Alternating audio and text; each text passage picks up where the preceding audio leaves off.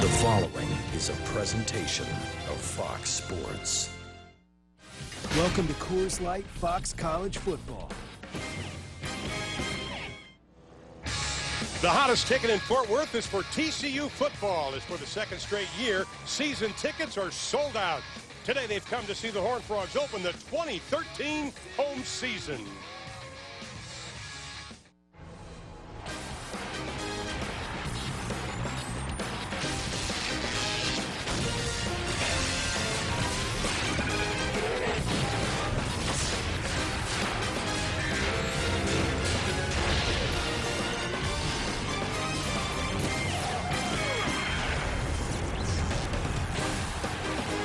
Is a hot and sunny day in Fort Worth, Texas, inside Amon G. Carter Stadium today. Number 24 TCU playing host to Southeastern Louisiana.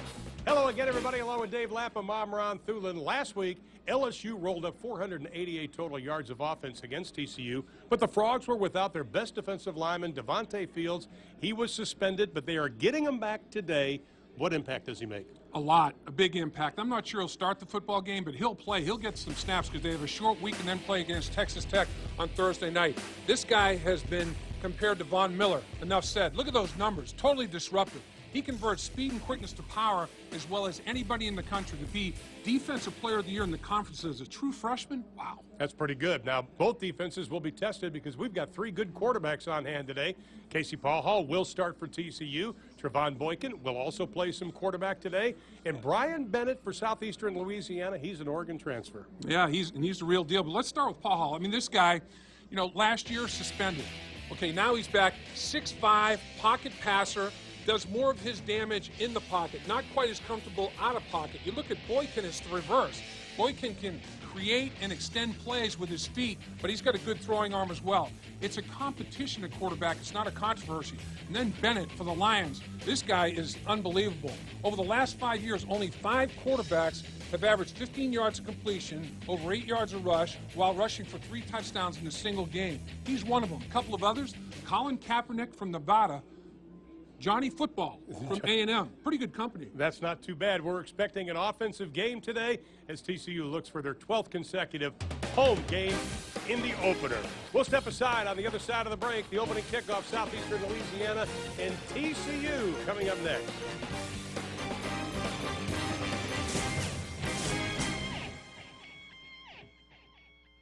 They're going to give you all the action for this game and tell you what they've got going on. Of course, they're going to preview the matchup, tell you who we'll see for TCU at that quarterback spot and what Pachall and Boykin can do as a two quarterback system for the Horned Frogs. And then, of course, you got Southeastern Louisiana. We'll give you the details on them. Bryan Bennett, their starting quarterback for Southeastern Louisiana, gets you a little more familiar with this opponent uh, facing the Big 12. And, of course, there you see, and as we've talked about earlier, there are the uh, the success rate for the Horned Frogs against FCS opponents. They're 6 and 0 since 2006 against these opponents, and uh, averaging 489.8 yards rushing to 193 from opponents. So uh, quite a bit of success against FCS opponents. They're looking for more of that today, certainly after the loss in week one to LSU by 10 points. They want to make sure that they're getting this ship corrected as they head into the rest of the season. And of course, start thinking about Big 12 play. They've got plenty to prove in the Big 12 this season, and they've shown that they can be a force to be reckoned with. Of course, Gary Patterson wants to see his defense back in action. And Devonte Fields, he'll start again today. Uh, that's after his suspension last week. So Gary Patterson will be very glad to have his Devonte Fields back in his defense. And without further ado, let's get you out to Fort Worth. We're having a little bit of technical issues, but we'll get you out to Ron Thulin and Dave Lapham for more on this game. Guys?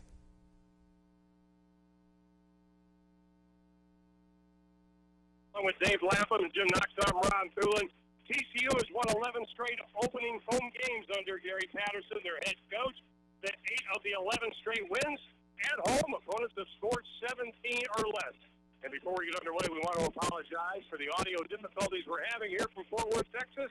I think humidity got the best of our audio for it. But Dave, Southeast Louisiana, they won the toss. They have deferred. Now, normally we just go into each team, but this is something that really concerns Southeast Louisiana. Special team speed by TCU. Right, Southeast Louisiana is in a directional kick.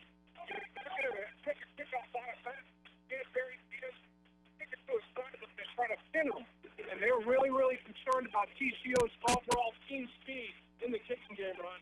BJ Catalon, number 23, is back with Waymon James. Catalon and a 100-yard kickoff return last week versus LSU, the longest since 1933. Ryan Adams of Southeast Louisiana, the Lions set to kick it away.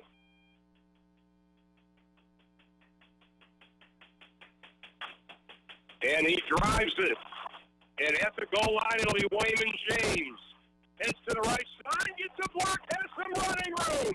James to the 35, to the 45, and roll out of bounds at the 50. Well, that's what Southeastern Louisiana is fearful of. A 51-yard kickoff turn fixed field position gives a short field to the TCU offense.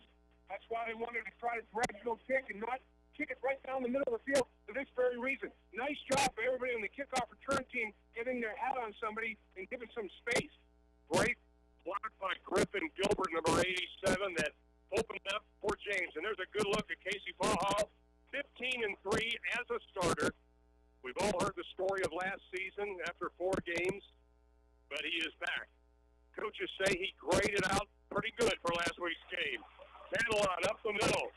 He'll have a first down as he gets inside the 40 down to the 38. Catalon averaged over six yards a carry, uh, you know, at the line of scrimmage. He had that 100-yard kickoff return last week. The reason he had that opportunity is Brandon Carter fumbled. And so he gets, they go to Catalon. He takes one back to distance. He almost broke a second one for a touchdown as well. If Carter hadn't fumbled, he would have had a shot. Gary Patterson says we got to get back to the basics, play our offense, and part of it is running the ball. Catalon again, the sophomore out of Houston, Texas, and a player loses a helmet. Loses a helmet immediately has to leave the field to play, Ron. And that player that lost the helmet is now down on the ground at the 35-yard line, struggling a little bit, took a shot. And that's Catalon. So they certainly don't want to lose him.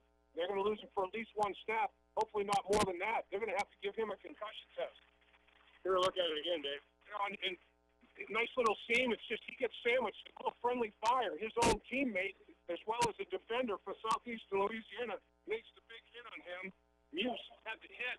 Boy, they're they're checking his head out, making sure that he can uh, understand what's going on. They don't want to put him back there if he's in jeopardy at all mentally. Larry Green's checked in lineup, number 22, the sophomore out of San Antonio, a Nebraska transfer.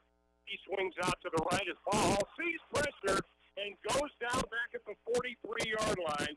They only let one sack for LSU last week. This time, Isaiah Corbett comes in from that linebacker spot to record his second sack of the year. I think uh, held the ball a little bit too long here, Ron. The ball has to be out. Last week against LSU, the wide receivers freelanced a little too much. The wide receivers have to be more disciplined in the routes, be where the quarterback expects them to be when they're supposed to be there, and that was the biggest reason their passing game never got on track last week. Hopefully that didn't happen to Pachall on that step. Now facing third down and long, Josh Doctson, top of your screen, number nine. Keep an eye on him. He streaks down the left side, but they go to the near side. Pass is complete to Cam White, and he will be short of the first down as he gets down to the 34-yard line. Harlan Miller, great job on the tackle. White's first reception of the year, and TCU looks like they're going to go for it on fourth. They're going for it. This is probably just running the perimeter of the field goal. So if you miss it, it comes back to this spot anyway. If you kick it to the end zone, it comes out to the 20-yard line. That's only a differential. Gary Patterson figures, let's go for it and try to keep this drive alive. Fourth down and six, so they can't even try to get him to jump off sides. Wouldn't be enough. And now Cam White wide to the left, fourth and six. Paul looks, throws, incomplete, just off the mark. Pass was intended for Aaron Green. Check that Deontay Gray. And it's going to be Southeast Louisiana's ball when we come back. We are in Fort Worth, Texas. Welcome back to Fox College Football. Due to time constraints, we move ahead to later in the game.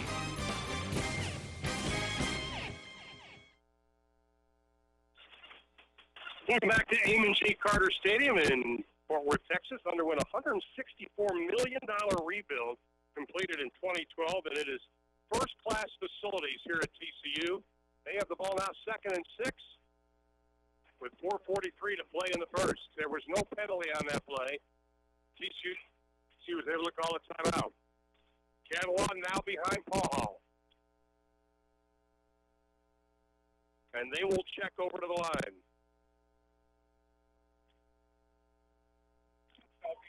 Louisiana drops the safety in the box, then walks them out. They run the option. Catalon gets hit hard right at the 25-yard line. Harlan Miller, the sophomore out of Kentwood, Louisiana. We've called his name a lot already. Okay, his run support on the perimeter has been outstanding. Defeats the block on the edge. That was one of the keys for the defense. Don't let them block you on the perimeter. Make plays when they try to take the ball horizontally. Can't do it any better than, than what was accomplished right there by Miller. Harlan Miller, they call him the most talented player on their defense. TCU 0 for 2 on third down. They need seven. Hall looks left, goes over the middle, wide open. Doctson spins inside the 10. He will be close to the first down, and where they mark it now, it will be a first down. You talked about Doctson from the beginning, Dave. Doctson transferred from Wyoming. He got a touchdown pass against TCU uh, a couple of years ago. Had to sit out a year. He's a local guy. He came back home, and now here he is producing for TCU. Pick up the eight, his first catch. TCU first and goal. Catalon dancing, looking for the five, doesn't get there. Stood up right at the line of scrimmage. That is it. You described it perfectly. You can't be dancing in this situation, but his offensive line gave him no opportunity, no room to uh, to advance at all. And Justin Church made the play on that one. He was unblocked, and he just uh, pursued from outside in and made a great play. Last two years, Church was a defensive end, now at the linebacker spot. Catalon stays in, and they'll run the option. Well, Hall keeps it, leans for the goal line, and he will be short by about a foot. And if you touch the ground, Ron, you draw a vertical line. Where's the football when his knee touches? The ball had not crossed the plane at that time. It's just just inside the one yard line. It's just a short side option. Uh, turns it up inside. He was definitely short of the goal line. Good call. Big, big third down here. And now Boykin comes into the lineup. Hall goes out, and Boykin will be over Joey Hunt at center. Third and goal. James using the muscle. Touchdown, TCU.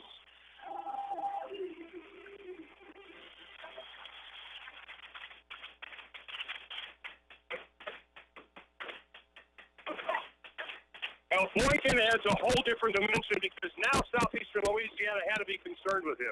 Yeah, they, definitely. They, they thought maybe they're going to take the ball wide. That time they just hammered James up inside. Good job of the offensive line establishing themselves on that goal line and knocking uh, Southeastern Louisiana backwards. Oberkrom set for the extra point. And he will split the uprights. Four for four this year, 46 or 46 in his career. Two and a half left to play in quarter number one. The Horned Frogs strike first.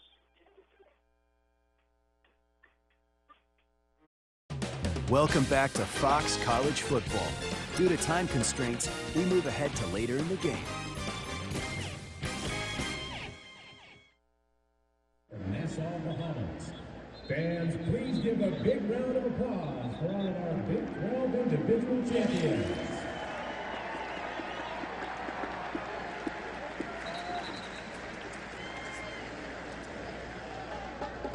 And welcome back to Amon G. Carter Stadium in Fort Worth, Texas, along with Jim Knox and Dave Lapham. I'm Ron Thulin, and hopefully we have our audio difficulties corrected.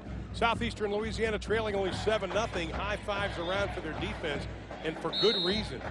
No question, Ron. They were stressed. I mean, they were put in poor field position on the first three drives for TCU and only let up points on one of them. On second and 14, Catalon with a spin move, but he is gang tackled. If you're Southeastern Louisiana, your defense, you got to have the numbers at the point of attack. Yeah, they do, and they're doing a good job. One of their big keys was keep the offensive linemen off the linebackers, off that second level of defense, and they're doing a good job of that. They're uh, making TCU double team their down linemen, and linebackers are running pretty free. And at this point in time, Ron Roberts has to be pleased, the head coach of Southeastern Louisiana. Now Cam White wide to the top of your screen, and Pachall facing a third down and 14. Straight drop. Has time. Plenty of time. Has to dump it off to Ladarius Brown, and he's going to get back to the original line of scrimmage. Harlan Miller again on the stop. Harlan Miller is having a heck of an afternoon. He is. The Lions on third and long decide to rush three and drop eight. They say, you know, you can have those, that underneath stuff. You've got third down and like 13 or 14. We'll let you get back to the original line of scrimmage. We'll give up that three-yard completion. TCU has to punt it away. I'll tell you, the Lions can run defensively. They got some good team speed. And TCU, their first punt of the afternoon. Harlan Miller is standing back at the 40-yard line, awaiting the punt of Ethan Perry. And it's a high spiraling kick. Fair catch is called for. Oh!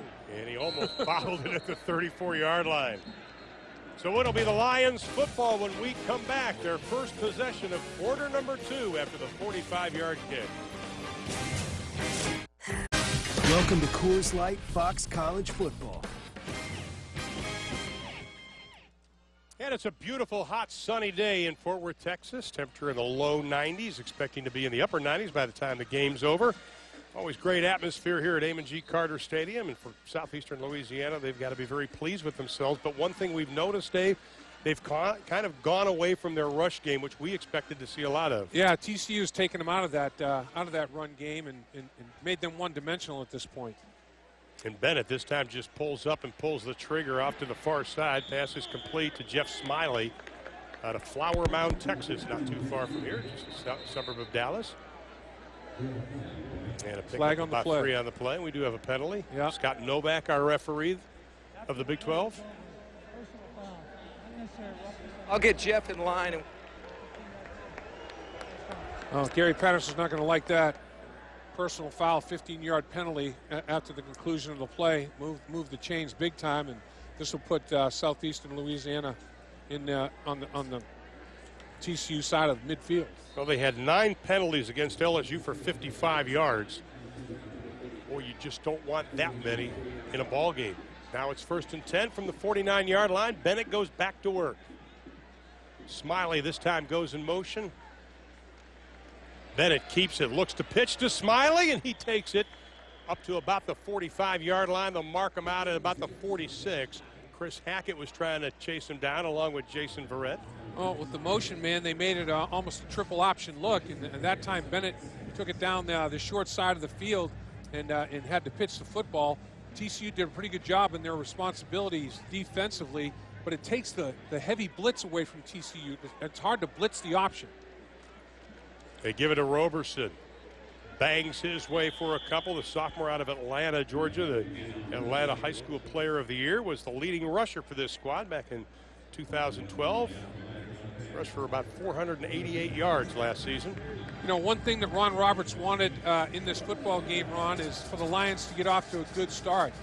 And in the first quarter, enjoy some early success. They enjoyed some defensive success. You know, they they, they pulled their necks when they had to and shut TCU down on their first two possessions with terrible field positions that they were facing. And I think that was a little bit of a motivator. Mm-hmm. They need four. Bennett keeps it, throws it, passes complete, tiptoeing right on the sideline is Fruge. He's had a nice afternoon so far. Marcus Fruge with his third reception, and that will be another first down. One thing they do with Bennett is change the launch point. He yeah. doesn't stay in pocket much. He's uh, he's out of pocket, either a bootleg or a naked bootleg or a rollout, whatever it may be.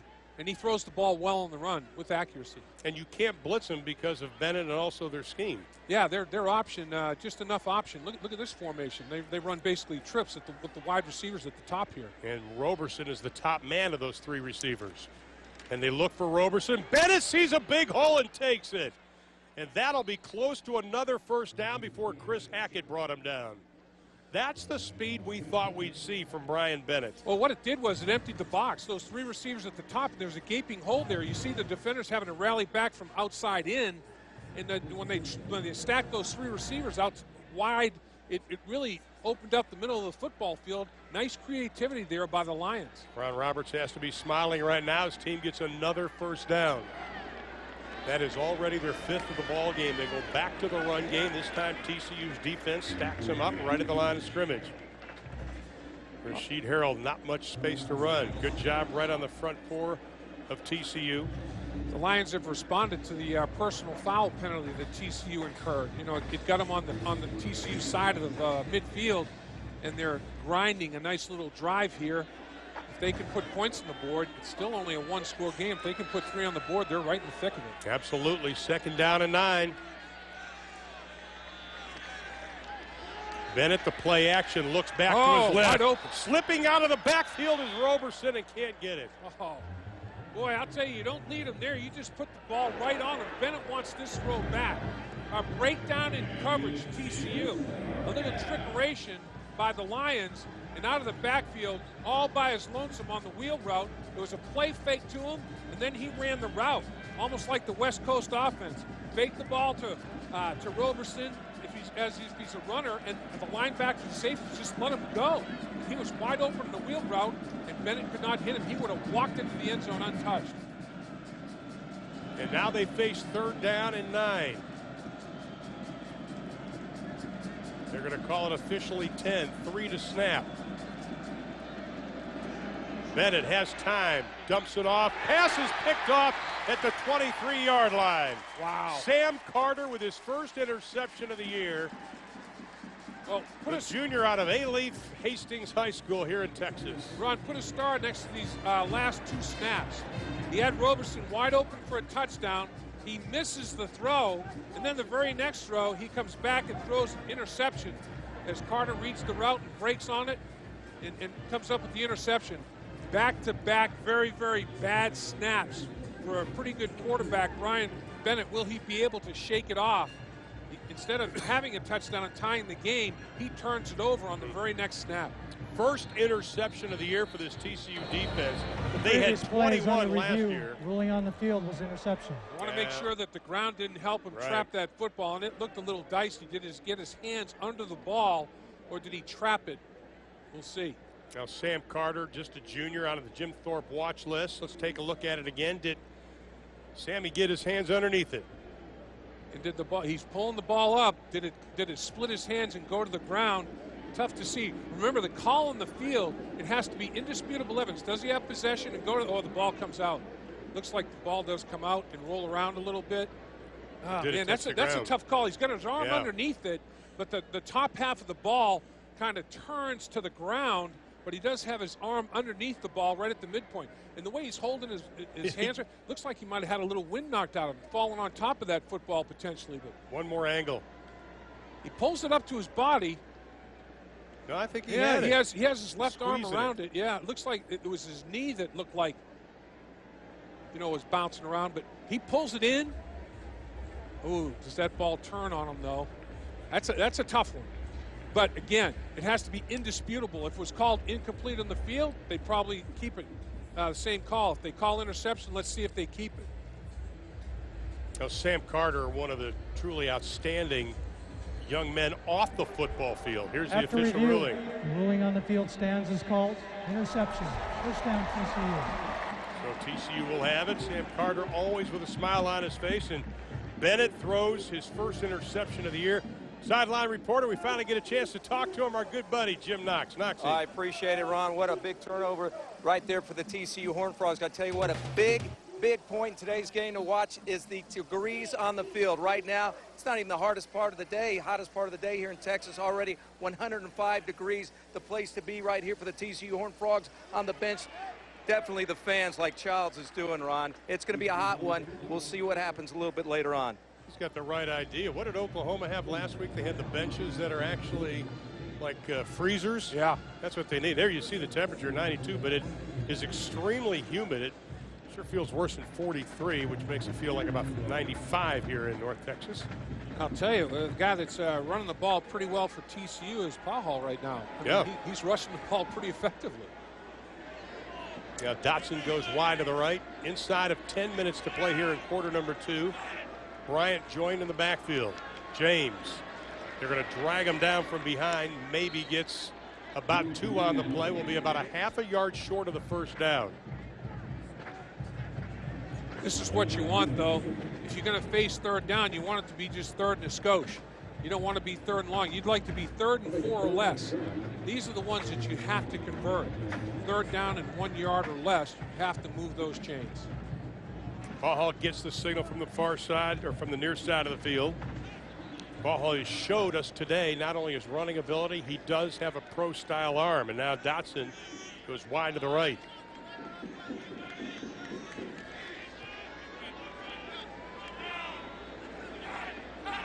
On third Ah, and short. Got him. got him jumping. James tripped up, and he's actually going to maybe get back to the line of scrimmage, but it will be a penalty against the Lions. Looked like Frugier was in the neutral zone and didn't get himself. Offsides. Defense. Five-yard penalty. First down. You know, you got you got the Lions trying to load the box up, and in their vigor to be aggressive at the point of attack, jumping in the neutral zone before the snap. Ron Roberts was so concerned of TCU getting on the perimeter in this game and also tackling. He said tackling is such a key for us because these guys are so good. We got to be good tacklers. James, we saw it there, although the penalty, nice job tackling in the open field. Yeah, they, they've really done a good job of, of making sure they didn't get haven't gotten blocked on run support on the edge. Harlan Miller's been outstanding, defeating blocks and tackling one on one. Aaron Green now in the backfield, and he will get a carry. He gets up to about the 37 yard line. Aaron Green, whose dad Tony played at Baylor, his uncle Gary Green, of course, played at Baylor and also in the National Football League. And Aaron Green, a transfer out of Nebraska. Well, Derek Robinson, the linebacker for the Lions, penetrated and Green made him miss. For, he, a good running back's always going to make the first guy miss, but he made his first move in his own backfield. Boykin is now checked into the lineup in the slot, and Dave, we're waiting for him to continue to get him the football. Though, looks left this time. Rifle in the pass should have been picked off at about the 50 yard line. Nice job defensively by Southeastern Louisiana. What? That was Theo Alexander getting his hand on the football. Looked like Brandon uh, Brandon Carter was wide open. He was the uh, the middle of the three receivers up to the right. He just ran a post down the middle of the football field, and Brandon Carter was pretty open down that down the seam. Pachall had completed five straight passes prior to that incompletion.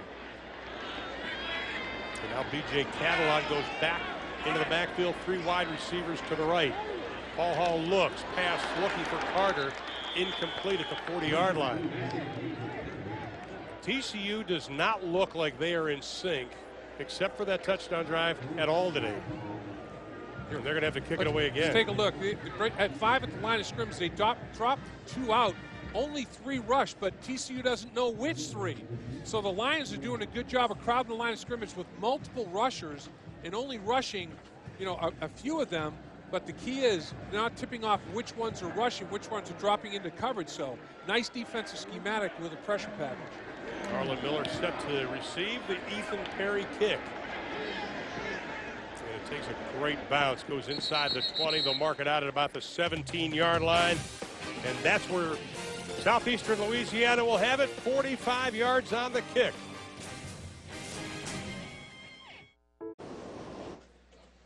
Let's take a look at our Coors Light first half game summary. Frost brewed Coors Light, the world's most refreshing beer. And here's the game summary, Dave. Well, the the uh, TCU defense is definitely doing a job. Uh, in, in is, he's uh, he's really controlling the pace, not only with his throwing arm, but he's running the ball pretty pretty well as, as well as Paul. And I'll tell you though, I have to tip my cap to Louisiana, uh, Southeastern Louisiana's defense. They're doing the job too. Absolutely. Bennett has used the play action pass a lot, and this is a big gain again. Frugier with the reception over the 35 to the 38 yard line. Four catches for Frugier today. This one covered 21. Well, defense bailed Bennett out. He had two bad snaps in a row. He came right back, forgot about it. You have to have amnesia as a quarterback. He hits his receiver, Frugier, on the move, doesn't make him have to work to catch the football, and that usually leads to yards after catch. 10 rushes, six passes so far for Southeastern Louisiana. Once again, they just ran the ball for 309 yards last week, six rushing touchdowns. They only had 18 pass attempts. Roberson in motion. Bennett puts it in the belly, and TCU's defense is just going to be all over the place, led by Dave, Davion Pierson, that defensive tackle. That's why uh, the Lions decided to throw the ball on first down. That that is probably your best down to Yeah. throw the ball against TCU because they are playing solid run defense, and when you run it on the early downs, TCU is there to answer the call. On second and 10, three wide receivers to the left. Bennett looks left, goes over the middle, pass tip, penalty flag comes in. Elisha Olabode was there to tip the ball away. Let's see if it's going to be pass interference against him. It can't be if the ball was tipped. If the ball's tipped, there's you got to pick that flag up. It's not interference. They're calling holding calling against holding. TCU. Holding. Defense, number six. 10-yard penalty. First down. Now Olabode must have got the uh, arm around him. And again, throwing the ball on the early downs, play action pass, still getting beaten inside, and that's the grab right there before the before the ball is tipped. Got the hook going around the body. That gives Southeastern Louisiana a first down, and they go back to their ground game with Harrell, the sophomore out of Miami, Florida. Gave up his red shirt last year because of injuries, so he did play. Ended up playing in six games and had a pretty good year.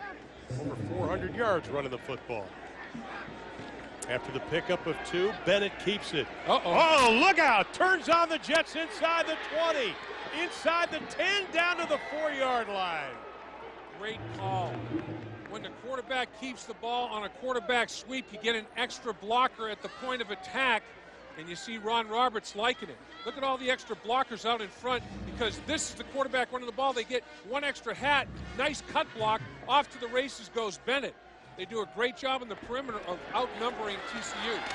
And then Harrell bangs his way. He gets close to the goal line. He'll be short, 45 yards on the scamper by Bennett. Again, quarterback running the football.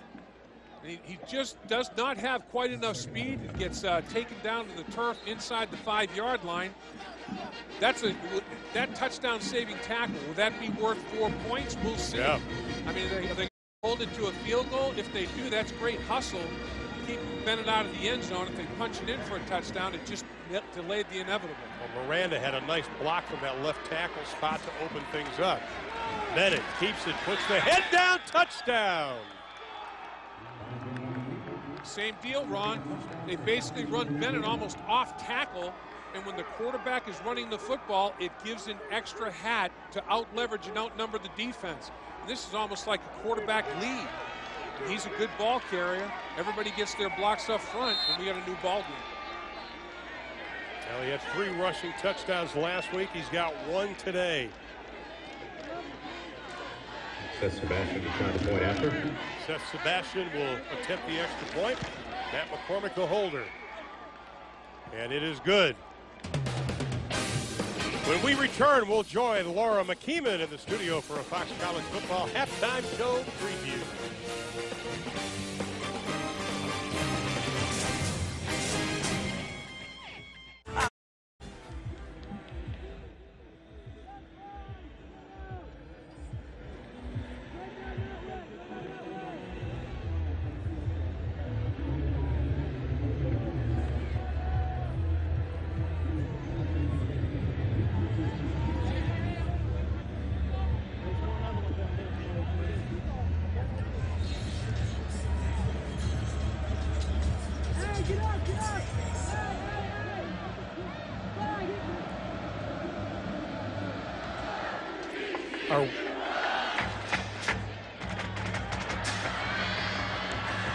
BJ Catalon breaks over the 35 up to the 40 yard line.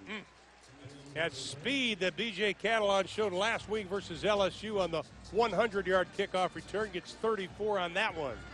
And he could have broken another one against LSU. He had an opportunity to Yeah. take two to the house. I mean, he is exciting. He brings a lot of energy to the kickoff return team. Let's go back to southeastern Louisiana because last season they had, or they have played two Big 12 teams. They lost 62 to nothing to Texas Tech, 62 to nothing to Kansas. So this is the first points that Bennett and company have scored against a Big 12 team since they brought football back in 2005 at southeastern Louisiana. Bennett's a resilient guy. Oh, showed us his speed and why he played 18 games for Oregon. Pachall play action down the middle has a man wide open. caught by Deontay Gray, the sophomore. Then he lost his footing as he was trying to make a cut. And we have a penalty flag also back at the 32. Roughing the quarterback. foul. Hands to the face on the defense, number six. 15-yard penalty. First down. Oh boy, they got Isaiah Corbett for grabbing the face mask of an offensive player protecting his quarterback, and boy, broken coverage right there, right down the gut. And As he tries to make his cut, he loses his balance and goes to the turf. But they're going to add 15 yards on that personal foul, grabbing the face mask call on Isaiah Corbett. So what a big play this is. 36 yards plus the penalty puts the ball down at about the 25 yard line for TCU.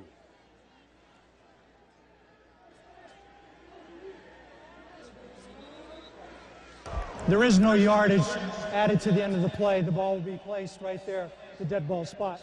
First down. Now Boykin is checked into the lineup again. He has played a lot in the slot, a couple of snaps at quarterback, and he is in the slot right now. Listen, B, at the top of your screen for TCU. Here comes the blitz. Pachall reads it, dumps it off to Boykin inside the 10 yard line and run out of bounds. Boy, I'll tell you, And a penalty flag is thrown, so add to the run. Pachall that time took a hit from Isaiah Corbett. I mean, he stood in there and took a smack and delivered that football. He held onto the ball as long as he possibly could and got the ball to Boykin in space. Personal foul. Face mask on the defense, number 27. Half the distance to the goal. First down. Now, Harlan Miller's done a lot, but that wasn't good for him. Well, this is yards after catch, showing some speed, breaking it to the perimeter, grabbing the grill right there. I'm not sure I saw that face mask. Neither did I. Well, TCU, one for two with a touchdown in the red zone. They have it first and goal from the five yard line. They hand it off to Carter. Touchdown, TCU. Penalty flag goes down. Oh, it's going to be a hold. It could be coming back. It could take points off the board. Offense, number 43. 10-yard penalty. First down. Well, they call Cliff Murphy, the tight end, for holding and, and bring it, bringing that play back, taking that those points off the board, and that's certainly not a not a play you want to make, nullifying a, a touchdown. TCU coming right back and, and potentially scoring, and it's taken off taken off the board by by a holding penalty. Now you find yourself first and goal at the 15-yard line, and that's one unhappy head coach right there. Gary Patterson, 13th year as head coach, was defensive coordinator at TCU before that, starting in 1998. And now Pachall, he's standing at the 20 yard line in a shotgun. Pulls it in, gets it Oh. to Boykin off his hands. You know, I think he was trying to make his cut inside before he secured the football. You know, you got to make sure that you catch the ball first before you start to make that inside move. He, he, he- he knew he had some real estate, and he just got overzealous. I mean, think about it. Last year at this time, they were prepping him to play running back. He basically had one day to learn the quarterback spot to take over for Pachall. Here it is again. And, and here, he's, he's just, he's, I think he's thinking about trying to make that inside move, and just didn't, didn't quite secure the pig right there. He did a nice job at quarterback last year. Now three wide receivers to the left. They fake. To Catalon. Pass is tipped incomplete. So TCU with a golden opportunity in the red zone. Not taking advantage of it because of the penalties. Yep, penalty uh, penalties hurt him last week, and nice job right there getting getting airborne and on uh, on third down. TCU's really been struggling going into this drive. They were two for six, and and uh, here they are on third down and goal at the 15-yard line. They're also 0 for 2 on Good. fourth down. Their first two possessions, they went for it each time and turned the ball over on downs. Catalon in the backfield with Pachall. Darius Brown, wide to the right. Catalon off the right side, bounces inside the five. What a run, BJ Catalon.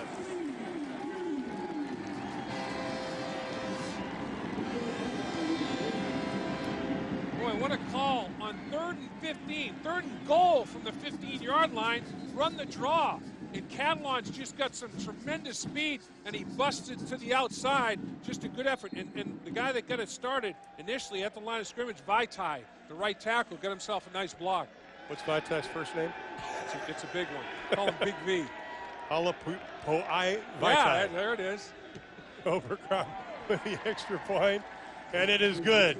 So TCU overcomes penalties. They get the 15-yard touchdown run from Catalon, his second rushing touchdown of the season.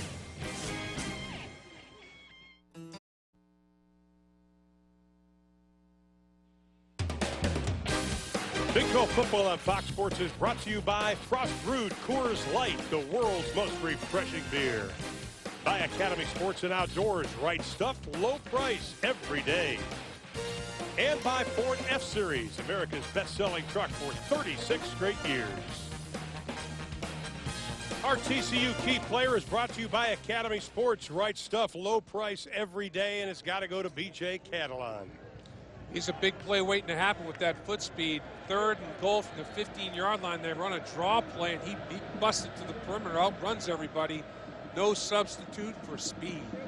Xavier Roberson now standing on his old goal line, waiting for Oberkrom's kick. And it's a dandy again. Seven yards deep. And he'll have to take the knee. You know, Ron, TCU has struggled on third down a little offensively, three of seven, but two of their, their two touchdowns were both on third down. Here's a guy that's resilient. Bennett, he overthrows on a wheel route after a fake to Roberson, overthrows a potential touchdown right there. Very next snap, he throws an interception to Sam Carter. Okay, then you got to shake it off. Very next possession, he gets a great downfield block, cut block by his teammate. He's off to the races for over 40 yards. That's a guy with selective amnesia. He could forget and move on. And then he finishes it with a touchdown rush himself. So there's a young man that does not let adversity keep him down. He jumps back up and responds. How demoralizing is it, though? You come back to tie the score up, and then you let TCU score on their next possession. Fruge in motion. Bennett hands it off to Cody Sutton, the junior out of Texarkana, Texas. Also played at Wyoming. Pretty good running back. Had 87 yards last week on 10 carries. Tough sledding for the Lions on first down running the football. Yeah. They've done a good job of being contrarian and throwing it more on first down and, and, and running sometimes on down and distances that TCU thinks they may throw it. They've kind of had a contrarian mindset. This time they fake the run, and Bennett just throws it out to the left side to Smiley. Smiley able to bring it in, and Smiley has his second catch of the afternoon. The one thing about the Lions is they do have pretty good speed. I mean, here it is, a receiver screen. This, to me, is just like an extension of the running game. That's Right. like a long lateral and get it to guys that have some jackhammer feet in space. Offensive coordinator Greg Stevens has done a nice job play calling because this Texas or TCU defense is extremely fast. They've been able to handle it. Now Sutton comes to the near side, bottom of your screen. Third down, they need two. Bennett will keep it. Takes a stutter step, reaches for the first down. And I think they're going to mark it where he did get it. Verrett coming up from that cornerback spot to make the stop.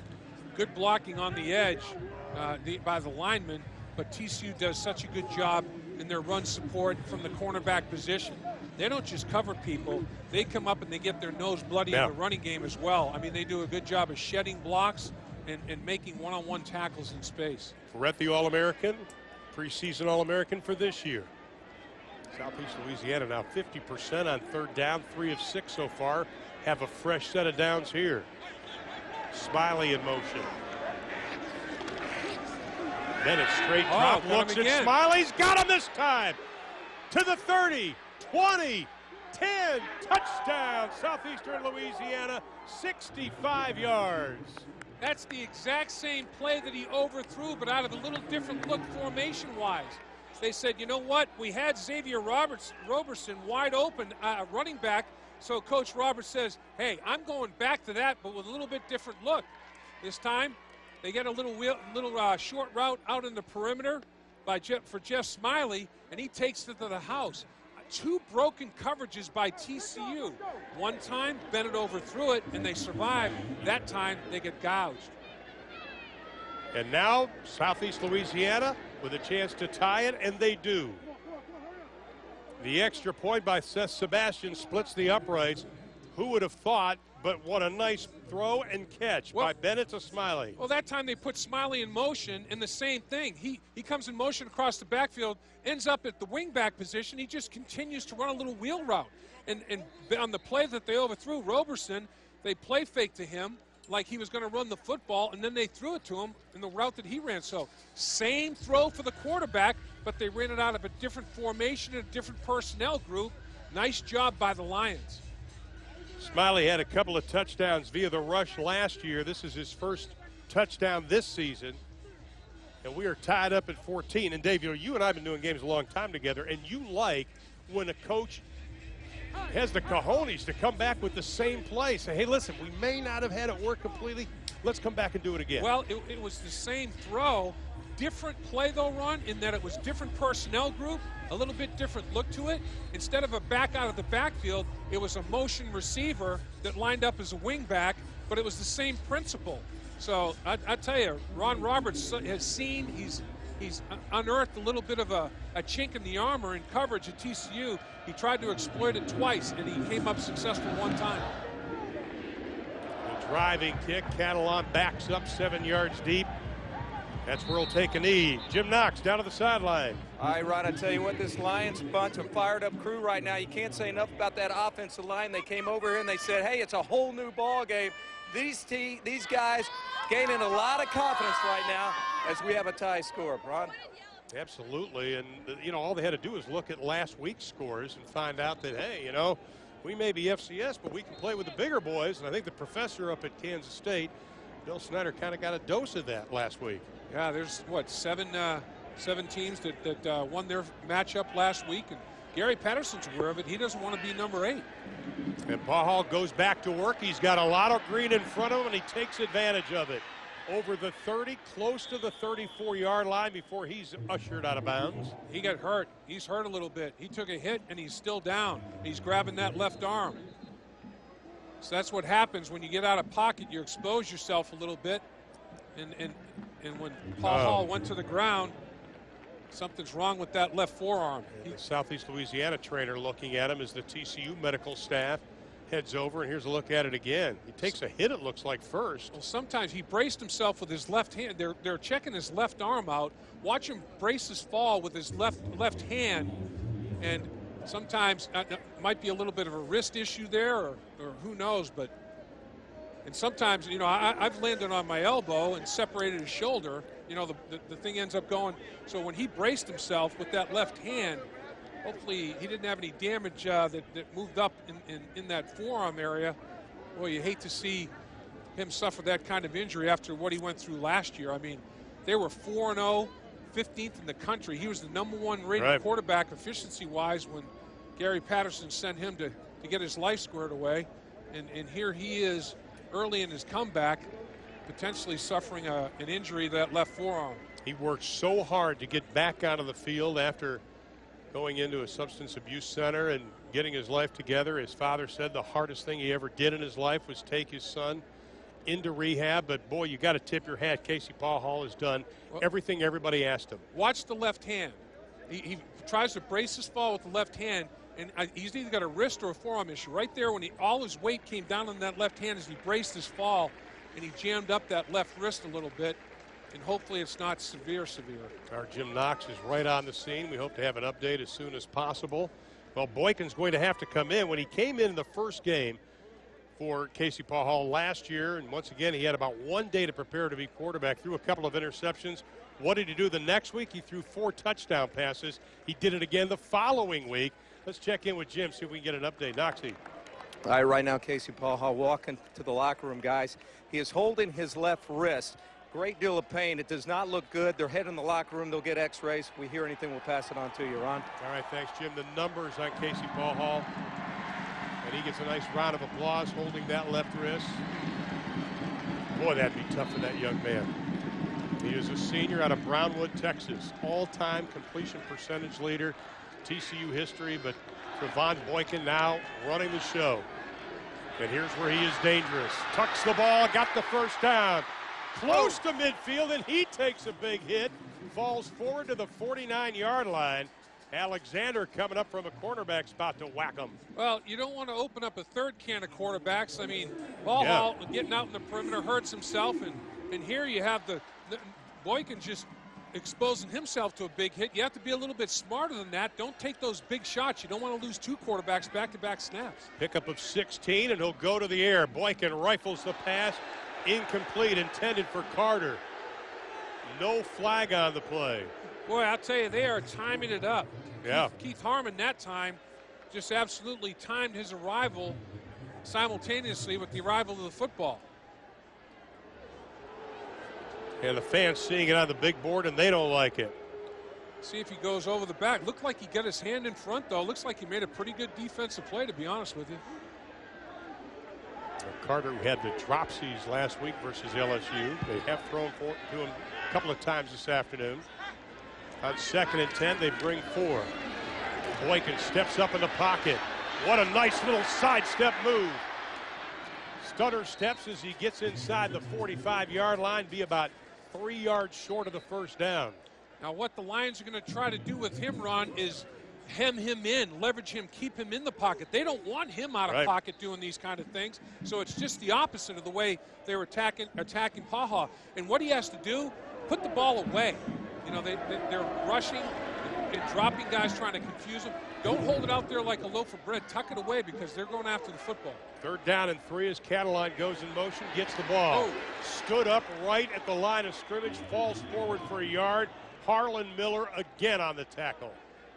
Well, Brown couldn't make a block for him. If Brown makes a block on the perimeter, Brown, you know, he just he, he, he couldn't get it done. And also slipping to the turf was Gray. Gray has a, if- if Gray or Brown make a block, I think Catalon generates a first down. They're 0 for 2 on fourth down so far.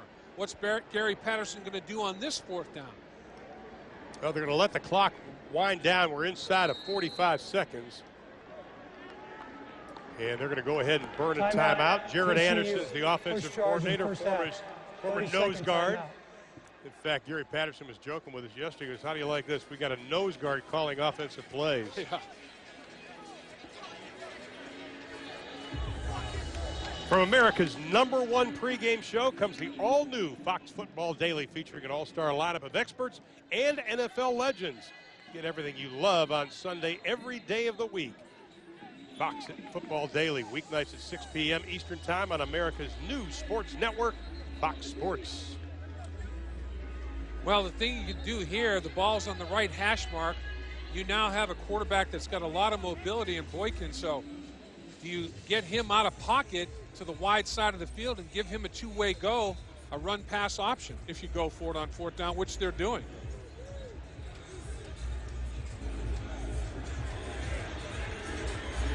TCU with two timeouts left, 39 seconds to work with. They're facing fourth down. They need a couple. Catalon in the backfield. They're going to run the option. Catalon, he'll have the first down. Gets close to the 35 yard line, and that's where they will mark it. Clock stopped with 34 seconds left in the half. Caleb Muse coming up to make the stop. And Muse trying to burn as much time as possible. But the clock stops in college football and generate a first down. Don't hold that guy down too long, you get a penalty. And now they empty the backfield. Boykin by himself. Three man rush. Boykin Oh, time wow. down the middle. Pass tipped away at the last second. Intended for Deontay Gray. Harmon again with a nice play. I'll tell you, Ron, Brandon Carter was wide open down the right seam. Uh, we can't see him here. Brandon Carter's wide open. He decides to go to the to the left hash, and there's coverage at the right hash. Brandon Carter, there he is jumping up and down. He was wide open. Nobody was in coverage of him. What did the coaches tell us on uh, Thursday? Contest everything, and so far they've had. They've been able to do that. Now Brandon Carter goes wide to the right. 18 seconds left, second and 10.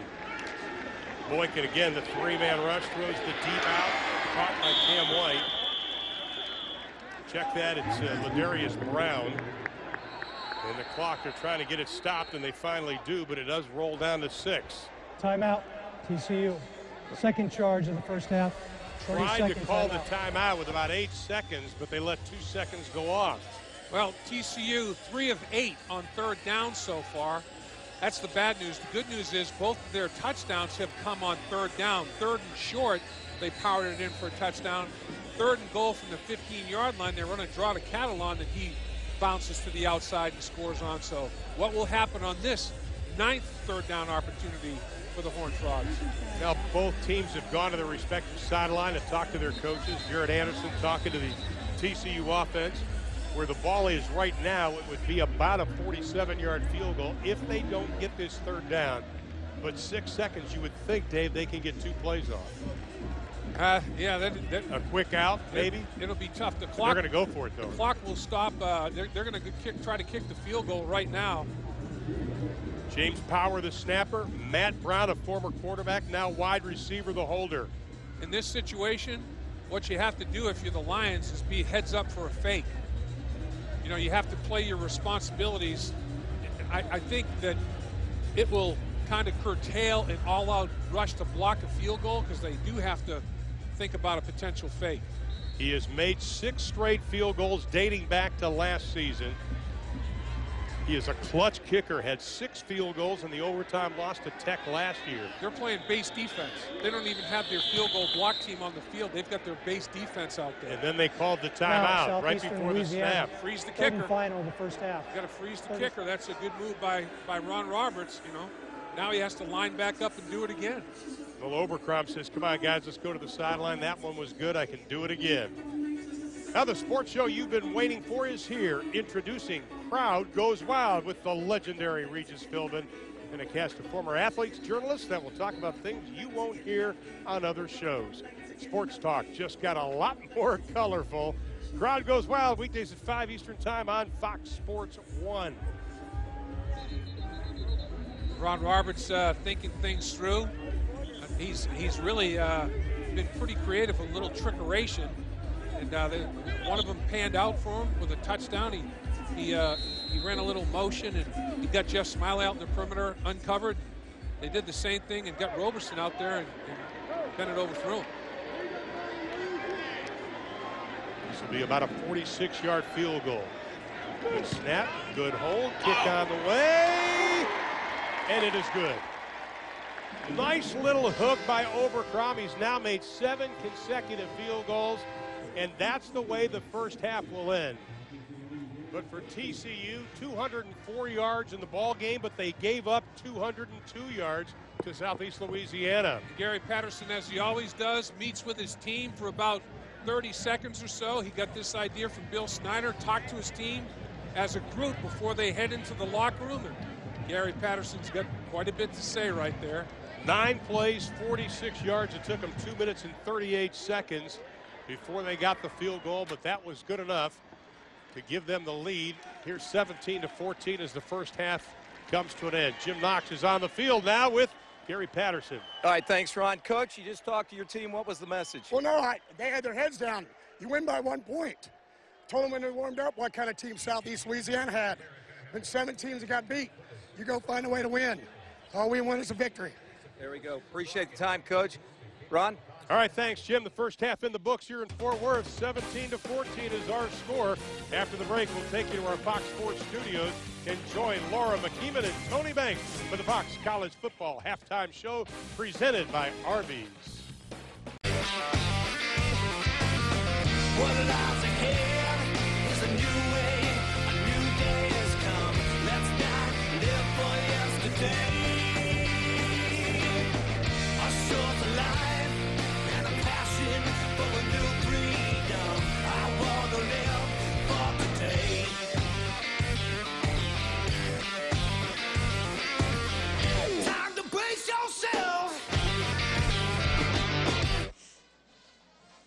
Gary Patterson's first coach is or first game as head coach at TCU. He lost to Northwestern State, a Division One AA team, and that's why he told Dave Lapham and me earlier this week he has gotten no sleep heading into this football game. That's Dave Lapham. I'm Ron Thulin for good reason because his team at times looked good. They looked off kilter uh, offensively. Not sure the update of Casey Pachall, but I think they've got to get it together here in the second half. They do, and, and uncharacteristically, they, he, um, the opposition found a little weak spot in Gary Patterson's defense in, in, in his scheme, and they went after it a couple of times. Let's take a look at what I'm talking about. The Lions here initially They're gonna they're gonna fake to the running back, Xavier Roberson. Fake to him number one. He's gonna run a wheel, little wheel route out of the backfield. He's uncovered. Assignment breakdown, and Bennett can't hit him. That would have been a walk-in touchdown. Later, they go right back to this play, and they go to Jeff Smiley. They bring him in motion, number 14 across the backfield. He lines up as a wingback, comes out of the backfield, uncovered. This time, they hit him. He goes 65 big yards for a touchdown. So, same throw for the quarterback, a little bit different personnel group, a little bit different formation, and that's why it's a it's a, a three-point ball game right now. You know, when you look at it, Ron, TCU's defense was dominant. I mean, they, they gave up 110 yards on on on uh, two plays, 92 yards on the other 28 plays. But because of uh, those two big plays, there's only a two-yard differential at the half. Turnovers favoring uh, TCU. Third down an issue for TCU. The Lions are converting 50% of the time on third down, Ron. Oh, we talked about the FCS upsets last week in week number one of college football for the Big 12. It was Kansas State losing to a very, very good North Dakota State team, and Northern Iowa beating Iowa State. When you talk FCS championship games, you talk about North Dakota State and Northern Iowa. Good teams. Absolutely. Jim Knox has been on the sideline. Jim, what do you have for us? Roberts, the head coach of Southeastern Louisiana, he said, you know what? Take away those penalties and mistakes in the first half, he thinks they should be leading this thing. He's told his team at halftime, you cannot make mistakes and plan on going into this stadium and win a game. He expects to win this ball game if they eliminate mistakes here in the second half. Should be a good one, Ron. Absolutely. Put it in perspective, five previous games versus BCS teams since 2003. That's Texas Tech, Kansas, Mississippi State, Ole Miss, and Missouri. They've been outscored 272 to 26. They've got 14 points today. They're only trailing by three. It kind of puts it in perspective. Well, they've had explosives, Ron. They've had two big, two big plays. Bennett had a 45-yard run that set up one touchdown. Then he threw a 65-yard touchdown pass that we saw at the half. So two big plays that they executed and TCU could not defend. Well, Southeastern Louisiana will have the ball. Roberson, he decides wisely to take a knee. Let's take a look at our Mattress Firm All Access update. And Bennett had a pretty good game in the first 30 minutes of play. He did. Uh, in the air, he's been pretty accurate, 8 out of 13. This interception hurt. There's no question about that. And he threw that interception right after he overthrew Xavier Roberson on that little wheel route out of the backfield. That was a tough sequence for him, but he came right back and ripped off a run for 45 yards on the next series and put his team right in scoring position again. And now they go to a, almost an inverted wishbone type formation. Bennett right in the middle. This is what we thought we'd see more of in this football game. Bennett keeps it, pitches back, has an opening. Verrett's got to come up to stop Harrell, but not before he gets close to another first down. Well, here's what Gary Patterson was fearful of, the triple option. And they played Air Force when they're in the Mountain West, you know, every year. Gary Patterson has a defensive schematic to stop the wishbone, but everybody has to play their responsibilities to the utmost. Ron Roberts says we know there'll be mismatches with our offensive line. We just have to limit that as best as possible, and so far they've been able to do that. Bennett this time gives it to the first man through. It is Harrell, and he leans forward down to, up to the 40-yard line. That'll move the chains. You know, that uh, triple option that we just saw, it puts a little bit of hesitation in Gary Patterson's mindset to blitz. When they're going to get you to the perimeter like that, it takes away that, that blitzing mindset. Well, Devonte Fields is in the ball game for TCU, number 95.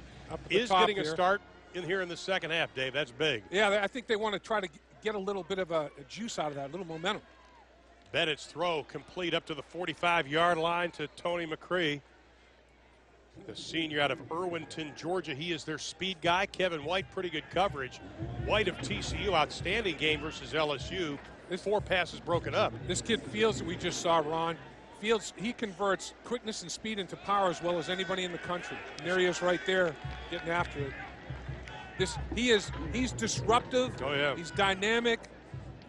He had 10 quarterback sacks last season. Look at him. Look at him just ball. That's a tight end. That's a mismatch, and he's abusing that tight end.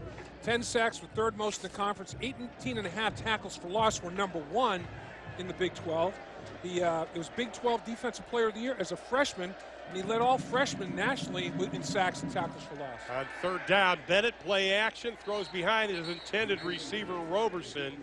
Roberson can't get the handle on it, and they'll be facing fourth down and about two. And are they going to go for it? How aggressive Yeah. will Ron Roberts get? Is he going for it four down territory? That time Bennett couldn't set his feet, Ron. He was he threw the ball backpedaling. He couldn't set his foot and tra- set his feet and transfer his weight, and as a result of that of the poor footwork, he uh, short hopped the throw. So Jeff Smiley quickly checks into the ball game. He's in the slot lower portion of your screen. You see the fourth down so far for Southeastern Louisiana. TCU showing five on the line. Oh, we've got flinch from the left tackle spot. Now the question is, did Marcus Mallet make him do that? Did he simulate the start? Did he get in the neutral zone and make the tackle react? It's being talked about. Yep. Yeah. And that's the deal. It used to be automatic. The offensive lineman couldn't move. But now, when uh, if, if a defender jumps in the neutral zone like that, and the offensive lineman reacts to protect his quarterback, it's on the defense, and that's a pre-snap penalty that's going to drive Gary Oh. Patterson nuts. Fourth penalty against the Horned Frogs so far this afternoon. Fresh set of downs for the Lions of Southeastern Louisiana. Harrell joining Bennett in the backfield. Already in TCU territory. Bennett keeps it inside the 45 to the 43 yard line. Coming up to make the stop is Sam Carter, already with an interception this afternoon. What they did on that one is they brought Jeff Smiley in motion again. Watch him come in motion. Bennett's going to keep the ball, but it makes the backside defensive end stay wide. And they quickly go back to work, handing it off to Harrell. He stood up at the line of scrimmage, maybe picking up a yard on the play. You know, you and I were talking before the game about the speed that the Lions probably would want to go today offensively. You don't want TCU to get 100 plays, but you also have to keep your tempo that you're comfortable with. If you're moving the ball, go up tempo. If you're going three and out, don't go up tempo because you're not taking any time off the clock.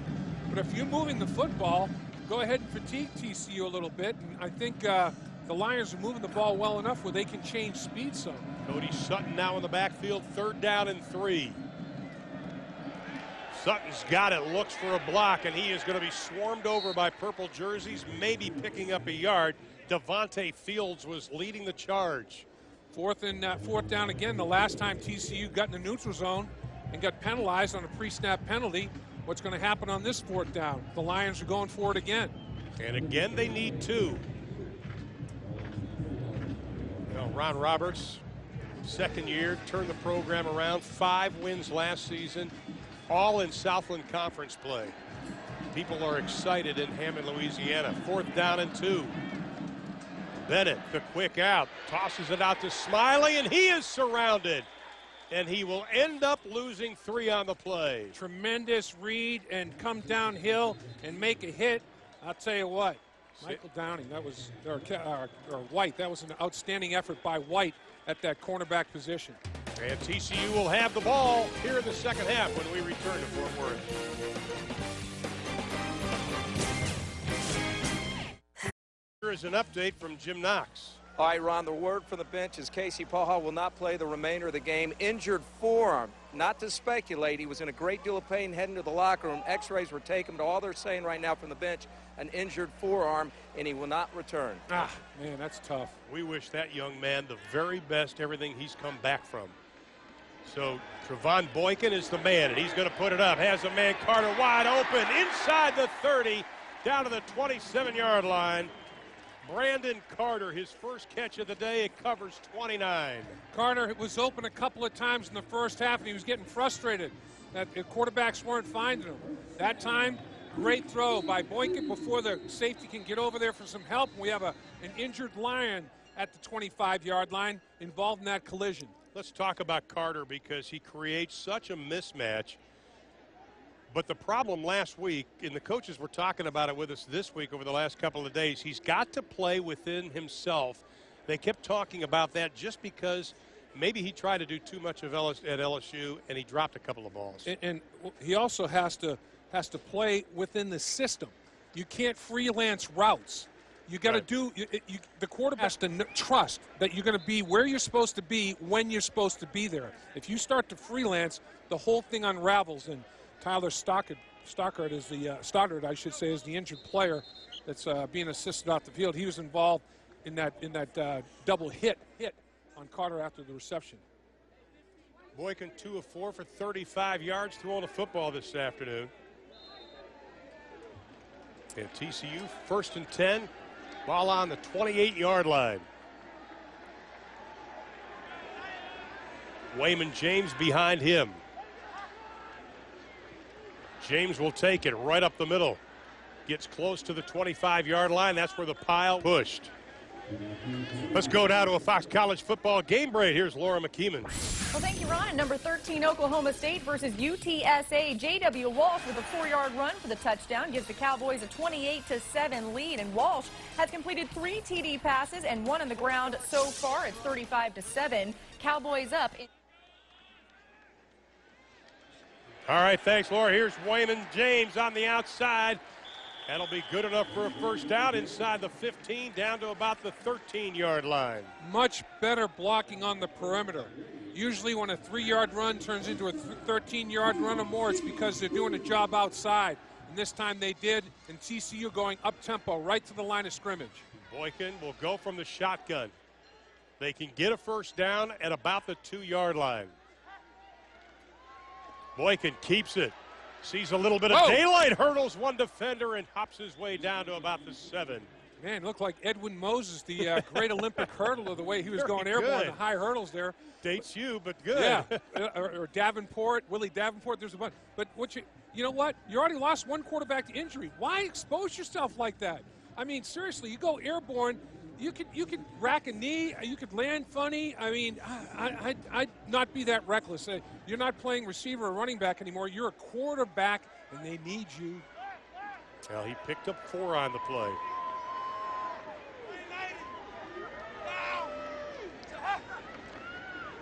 James, left side, bounces off a couple of grabs. He gets down to about the four and a half yard line. Drew Masita coming up to make the stop from the middle linebacker spot. I'm I'm impressed how the Lions are penetrating. I mean, they're one gap and hitting Yeah. gaps. They're they're coming downhill. They're aggressively getting to the football, and the defensive line's doing a really good job of keeping TCU's big interior linemen off the linebackers, and they're scraping, flowing, flowing pretty freely. Big third down, Ron. And Carter now is in the backfield. Boykin will go over center. Carter's got it, looking for blocks left side, walks into the end zone, touchdown. Brandon Carter with a rushing touchdown. Good scheme, and they really overloaded. They got one more helmet at the point of attack than the Lions could defend. Watch, watch this. As it's coming in this direction, well, look at all, look at all the helmets over on this side. They're just out leveraged and, and outmanned the Lions. Finish right here, easy lane, touchdown. Tremendous execution, good play call out of the formation that was uh, dictated. Oberkrom on for the extra point. And he keeps his record perfect over two years. So with 8.32 left to play in quarter number three, TCU widens their lead to 10. Worth, including the legendary Tim Love. He's got a number of restaurants here, and that's a, he feeds the Horn Frogs, and Horn Frogs just fed Gary Patterson a 10-point lead. Once again, Casey Pachall is out for the day. All they're saying is a forearm injury. TCU six plays, 57 yards. Boykin responsible for 33 of those yards. Xavier Roberson, good look at him. The sophomore out of Atlanta, Georgia. Hasn't had a chance to show us his talent on kick returns and won't on this one. Yeah. And the scoring drive. Give me a grade on Boykin, Dave Lapham. I, I like his enthusiasm and his uh, his aggressiveness. I, I, I wish he'd just choke it down just a little bit. Six plays, 57 yards. Carter finalizes it, but they have a, a short week in a game Thursday night against Texas Tech. They've already lost one quarterback potentially. It looks like for the Tech game. Don't expose yourself to injury by Right. jumping and you know putting yourself in harm's way. I'm not saying don't play aggressively. Don't. It, I'm, I'm not saying play scared. I'm saying play smart. Well, let's see if the Lions of Southeastern Louisiana can respond. They have so far this afternoon a number of opportunities. He double clutched it. The Yeah. Center forgot the snap count. He, gave, he moved the ball twice. No can do. Two people can't forget the snap count center and quarterback. Five yard penalty. First down. Marshall Paris, he's Watch- a senior, watch, making his 29th start. Oh, Yep. snap it. No, oh, wait. Is that the one? You can't fake a snap and then finish the snap. No can do there. He's a four-year starter, too. You know, you can you can pump a, a, a football if you're a quarterback. You can't pump a snap if you're a center. No pump fakes.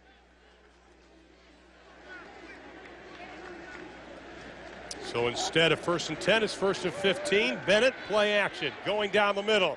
Has Oh, man wow. picked off at the 45-yard line by Chris Hackett. Man, It looked like Roberson was wide open, but then the purple jerseys converged. That's an athletic play. Went over the receiver to get the football at its apex. Too much air under this ball, up and over. That's a good effort right there. You know, a lot of times you, got a safety lurking deep like that. Safety's reading the quarterback's eyes, his eyes, and the ball being airborne for a while allowed him to close on it. Excellent play. Second interception of the afternoon for TCU.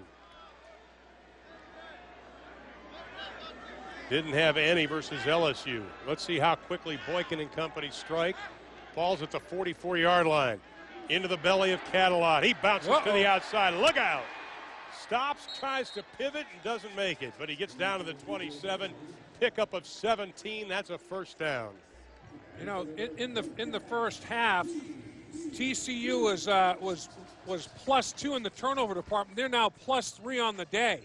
You can't go on the road if you're the Lions and think that you can withstand a minus three ratio uh, in in the turnover department and win on the road against a Big 12 team. First and 10. Boykin looking to put it up again. Goes to the Oh. deep out wide open. That's too easy. Touchdown. TCU and Josh Doctson.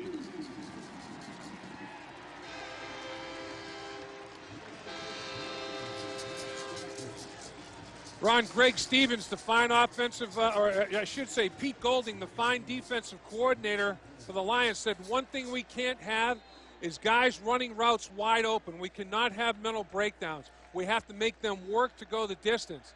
That time, he would have scored from 99 yards out because there was a broken coverage, and that was just pitch and catch right there. The Lions with a mental mistake. So after the interception, TCU goes 44 yards in two plays. Touchdown goes 27 yards. Hackett with a pick. Doctson with a touchdown. TCU leads by 17. Gives TCU the 31 to 14 lead. I'd say he was the, the guy that was in Wyoming, obviously. He caught Yeah. a touchdown pass a couple years ago against TCU, and, and he transfers here. That first touchdown of his career at TCU couldn't have been any easier. He was Yeah. uncovered. I mean, that's just uh, about the balance and the play selection for TCU. Running the ball 30 times, throwing it 19, 305 yards, and a touchdown on those 11 completions. That'll work. Doctson had 35 receptions in 2011 for the Cowboys of Wyoming. And Oberkrom set to kick it away. Xavier Roberson, he's not going to get another chance again. What a weapon to have a That's cannon like that for a leg. Let's check in with Jim Knox. All right, Ron, talking about that touchdown, Vaughn Boykin right there was just talking to Tyler Matthews, the backup quarterback. He said the reason why he was so wide open is because of the fake. He said he couldn't believe it. They carried out a great fake, and that's the key reason why he was so wide open. They got the touchdown right there. Knoxley, you played in the secondary. Can't get nosy back there, right? You see, you can't let receivers run by uh, and biting on that play fake. Oh, it was like a Chinese fire drill out there. You didn't know which one to pick up. I hear you, man. So the Lions take over at the 25 yard line. Harrell in the backfield joining Bennett and Roberson. Kevin White showing like he's going to blitz. Instead, Bennett hands off to Harrell, and he is stacked up, and he will lose a yard on the play. Interesting play selection for Southeastern Louisiana in that first half. Threw the ball a little bit more than what we anticipated. Yeah, I, I think they were they were having difficulty running it around. They, they did get the big uh, gash play from Bennett for 45 yards, but his other eight carries, he just had 25 yards. They they shut it down except for that one rush by Bennett. Now they're against the change, second down at 11. Bennett going deep, and he's going to overthrow Kevin White. Almost got a hand on it. Good to see White running at full speed. Dinged his hip up pretty good in the LSU game. He came down on a Tigers helmet with his hip. Like I said, the first half, the Lions had 202 yards on, on 30 plays, Ron. They had 110 yards on two of those plays. The other 28 snaps, they just had 92 yards. So TCU played solid defense yeah. except for two snaps that Goudsman, and you can't, you know, you have to play every snap. It's not like the Lions didn't gain the 110 yards, but uh, there was some mental, there was mental error on one of them for sure. The 65-yard touchdown pass. Third down and 11 for Bennett and company. Looks left, just dumps it off to Harrell. Harrell takes a big hit at the 29-yard line. He will be short of the first down. That's the TCU defense I've grown accustomed yeah. to seeing. Multiple guys running to the ball, multiple guys delivering a lick. They pursue the football. Here comes the lick. Get him out in the perimeter. Look at that. Four purple jerseys in weight and drooling for the contact. First in rush defense, fourth in pass defense, number one overall defense in the Big 12 last year. That was the TCU defense, and they have a history since Gary Patterson has been here having great defense. Carter. He'll take it at the 26-yard line. Look out. Gets by the first wave, keeps his feet. Close to midfield. They'll mark him down at about the 48-yard line. Boy, he's limping he's a little bit. Yeah. You know, two things that I saw on that, decisiveness and explosiveness as Carter limps a little bit toward that sideline. Right away, though, he's going to go north and south decisively and just sheer athletic ability. Make a guy miss, kind of put that arm down to tripod and balance yourself. Athlete. 34 yards on the kick, 22 on the return. TCU will have it all on the 48 yard line, and they have had outstanding field position for most of this afternoon. They only got 12 yards net on that punt. They had another punt uh, that, that was shanked out of bounds for under 20 yards. They've had problems in their kicking game. Ty Slanina has checked into the lineup for TCU, number 13. Boykin scrambling. He's got plenty of green in front of him. He was looking for Catalon, didn't get it to him. We've got a penalty flag down, and this time he will walk out of bounds. Well, you got you got Kulin Hubert, the transfer from Texas Tech, lost his helmet, continue to play. That's a penalty. He not only has to leave the field, they get penalized. You, if you lose your helmet, you have to stop. You cannot pursue the play.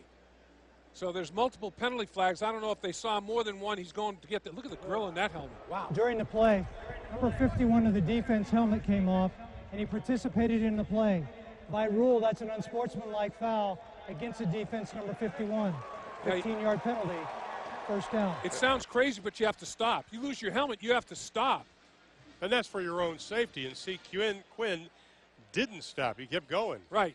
He's, he's going to lose his helmet. There it goes. There goes the helmet. And here he is right here in the middle of the football field. And, you know, your instincts are, man, you got an athlete running the. I got to get involved. I can't leave my teammates hanging out to dry. But when you do that, you end up costing your teammates another 15. He could have also been called for holding on that play. it looked like from that replay. So now the ball pushed all the way down to the 29 yard line. Aaron Green in the backfield, and he will get the pitch. Woo. Green upended, but he does pick up a couple of yards. Let's go to a Fox College football game rate. Laura McKeeman. Well, we've got a battle in the Sunshine State. Number 12, Florida at Miami. And Stephen Morris in the first quarter goes play action, then goes deep, completing a 52-yard pass to Phillip Dorsett for the TD. That made it 14-6 at the time. Currently 14-9 heading into the fourth quarter. Guys, the Canes looking for the upset. Canes, good program. Good program. The U. Slightly. Yeah. Legendary, the U. Pickup of just one. Second down and nine.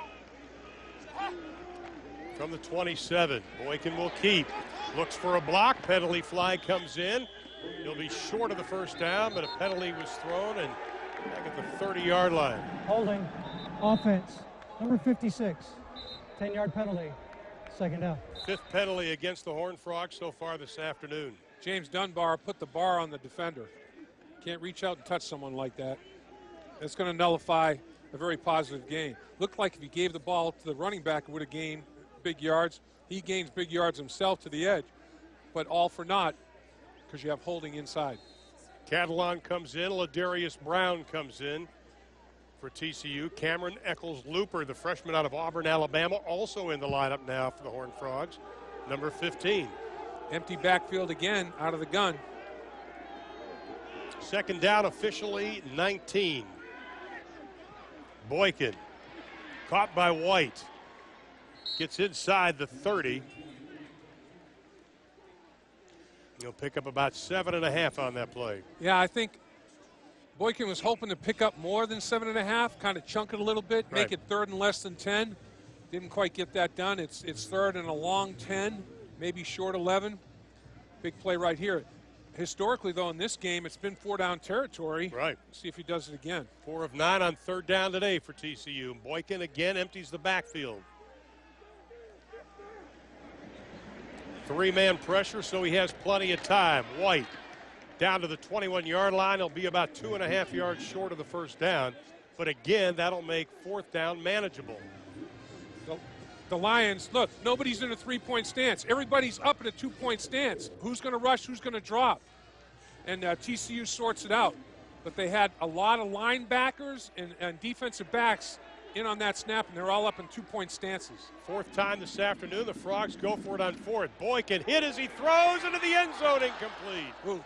But Boykin took a wallop on the play. Yes, he did. He got smoked. But I- I- Drew Mesita looked Yeah. like the middle linebacker just absolutely leveled him. It was Masita.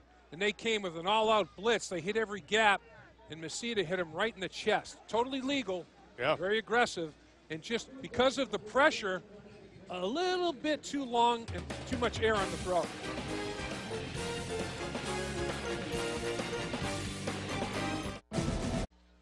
Today's playbook is brought to you by Geico. Well, Ron, we got a linebacker right here that knows what he's doing, Jonathan Anderson. He's going to read his keys initially, and it's going to take him on a zone read to his left. But he sees Bennett keeps the ball, so he's going to start to pursue. Wham! Here he comes delivering the hit. Ball's out. TCU recovers. Outstanding effort by Anderson. And then here he just comes downhill in his A gap on a run blitz and finalizes the play. Big time efforts. 31-14 is our score. 337 left to play in quarter number three. Along with Jim Knox and Dave Lapham, I'm Ron Thulin. Good to have you with us here in Fort Worth, Texas today on a hot day. Bennett, incomplete. Intended for Chris Mallett. Devonte Fields comes back into the lineup. He was sitting out that first play for uh, Southeastern Louisiana. Once again, if you just join us, Casey Pachall, the quarterback, TCU, injured forearm, will not return. We're not sure of the, of the extent of the injury. Devonte Fields did not play in the first half. He did play in the second half. So far this afternoon, that's a welcome addition to this defense. Bennett to Sutton. Sutton tries to at least get up, and he's still moving the pack. Wow. My goodness. It's like a And another helmet comes off, and I tell you, they're going to have to send Sutton out. He lost his lid. I'll tell you, but you talk about a rugby scrum, man, can't knock this guy off his pins. Look at the low center of gravity. Low man wins. And you, you got a guy like uh, that, like Sutton, who's 5'8", 100, 195 pounds. If he were 5'11", he'd be 220. He's a man. He's just a short man. Ah, double clutched again. And Taylor Romero, the right guard, was doing a little bit helping him out. On the offense, number 60, five-yard penalty, first down. That's Ryan Cockerton, the junior out of Kelseyville, California. He is replacing the starter, Marshall Paris. So Paris has got a double clutch, and now Cockerton's got a double clutch. Yeah, I, I don't think I've ever seen two centers pump fake a snap in the same game. Pump fake in a my life. snap? Yeah, I That's mean, you, good. You, you can't pump fake a snap. You got to you got to follow through in one motion. You can't have two two moves on that. Now three wide receivers to the right. Bennett facing first and 15 from the 28, looks left. And here comes the pressure, and he goes down at the 20-yard line. And that's just everybody getting up the football field with some uh, authority and aggression. Just no, nothing fancy, just straight bull rush, and uh, overpower the opponent and finish the play. You know, when you when you, we talk about last year's defensive Big 12 Player of the Year. That that that sack was accumulated right there by John Lewis, but the guy right next to him is going to attract a lot of attention in pass protection, and that's Fields. This guy's been compared to a pretty good player, Von Miller. Yeah, that'll work. Yeah, that'll work. First sack of the year for Lewis, third of the afternoon for the Horned Frogs. Second down and 21. Fields is in a two point up top. Bennett tucks it, tripped up a little bit, keeps his feet up over the 30, past the original line of scrimmage to the 37 yard line. Chris Hackett, who's got an interception today, comes up with the final stop. Field stayed in a two point stance and he just came up the football field. Here he comes, a little straight rush. Watch him get right at the heels of the quarterback Bennett, make him tuck it and run. That's what he's capable of. Extreme pressure off the edge. 0 for 3 in the second half on third down for Southeast Louisiana.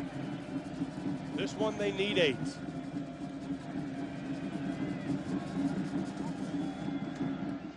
Bennett looks right, tries to get the little dig pattern into McCray, and it's incomplete. Now, do you go for it on fourth down with 113 left to play, or do you pooch kick it again like they did in the first quarter? Well, they're they're kind of afraid of, uh, of, of punting the football, but here they come. They feel like you know if we don't accumulate anything here, we're giving them a short field, and they're on a little bit of a roll offensively. They're hung 31 on the points on the board right now. Gonna try to play a little field position and back them up.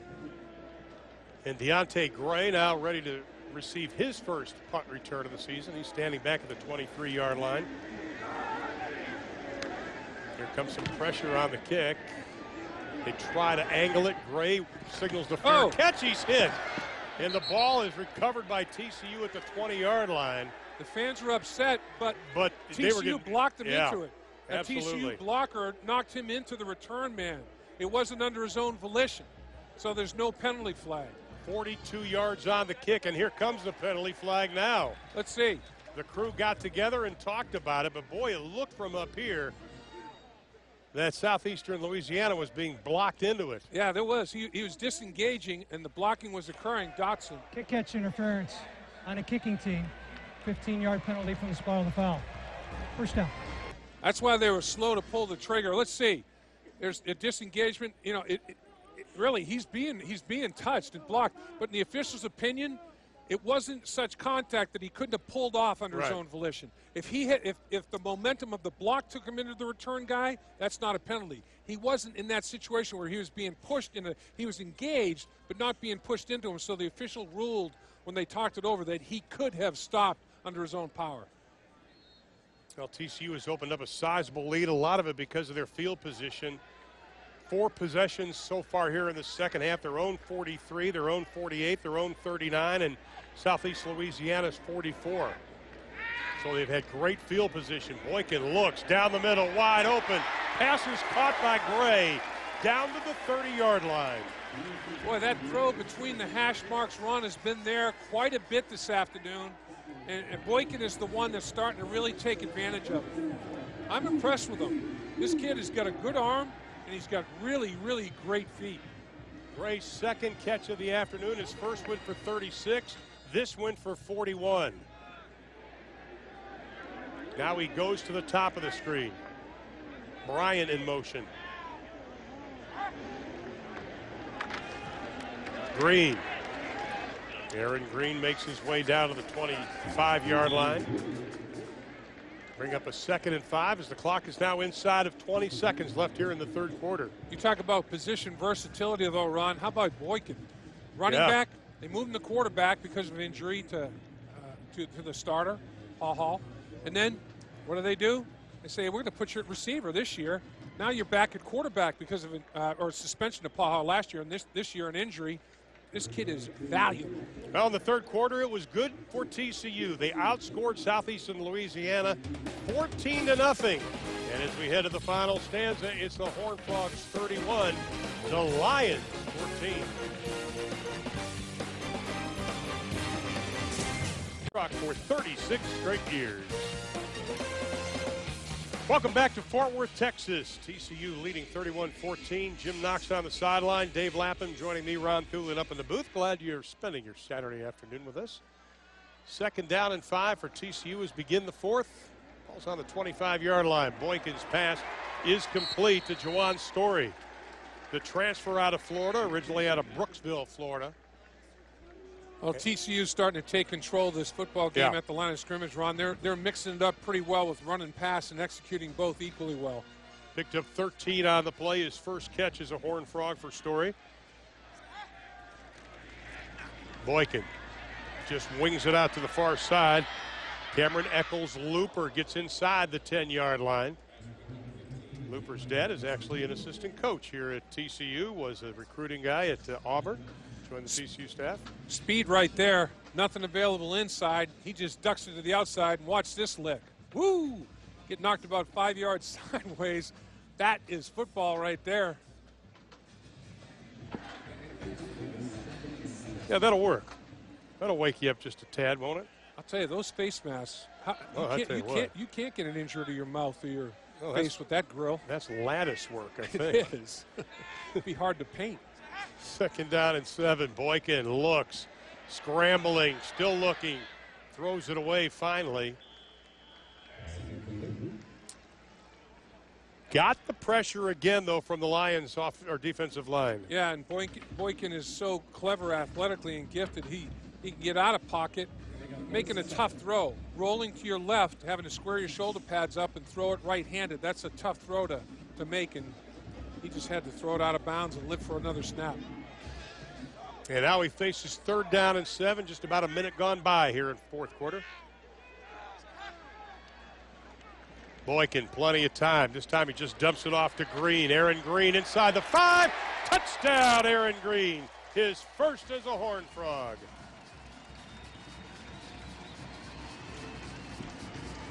That's just good execution by the Horned Frogs right there.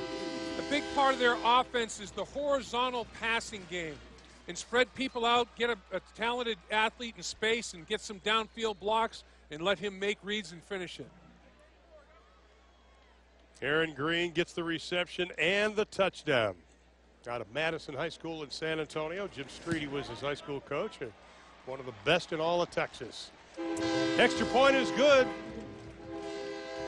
So just over a minute gone by here in the fourth quarter. TCU puts seven more on the board as they go 61 yards in six plays.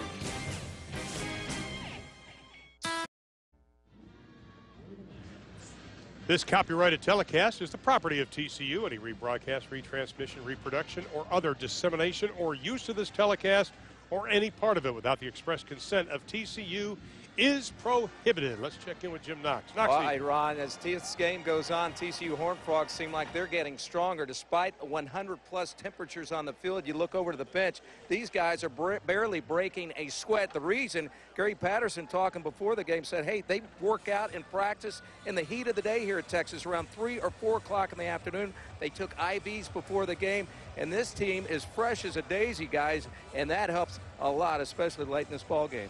No doubt, Knox. I think taking the, the IVs before the game is a stroke of genius uh, because that, that, that's when you suffer. It's too late during the course of the game.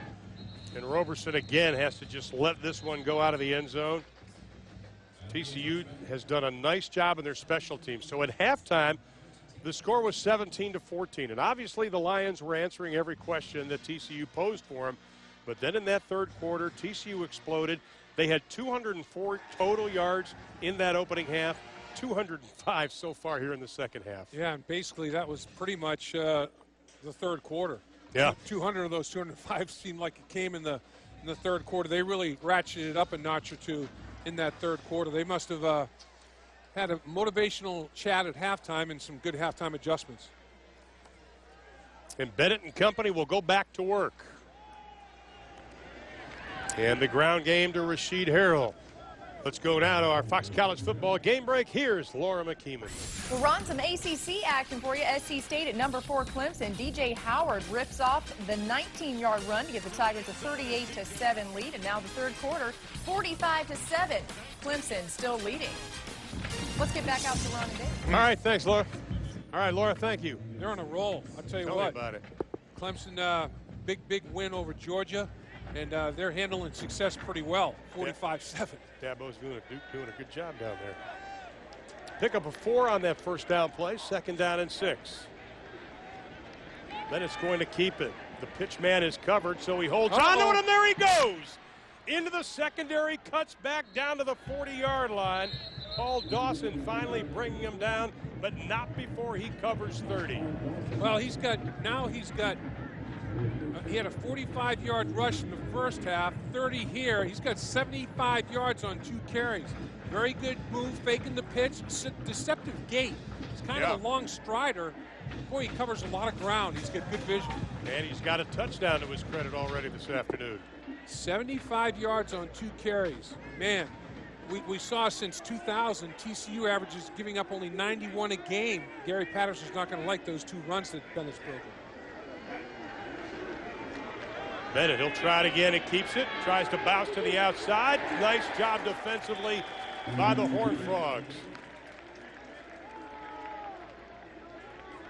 You know, I think it is. It, it, it's for a lot of reasons. It, it, it's good to get your stud in the football game, Fields, for some snaps. He's not out there right now.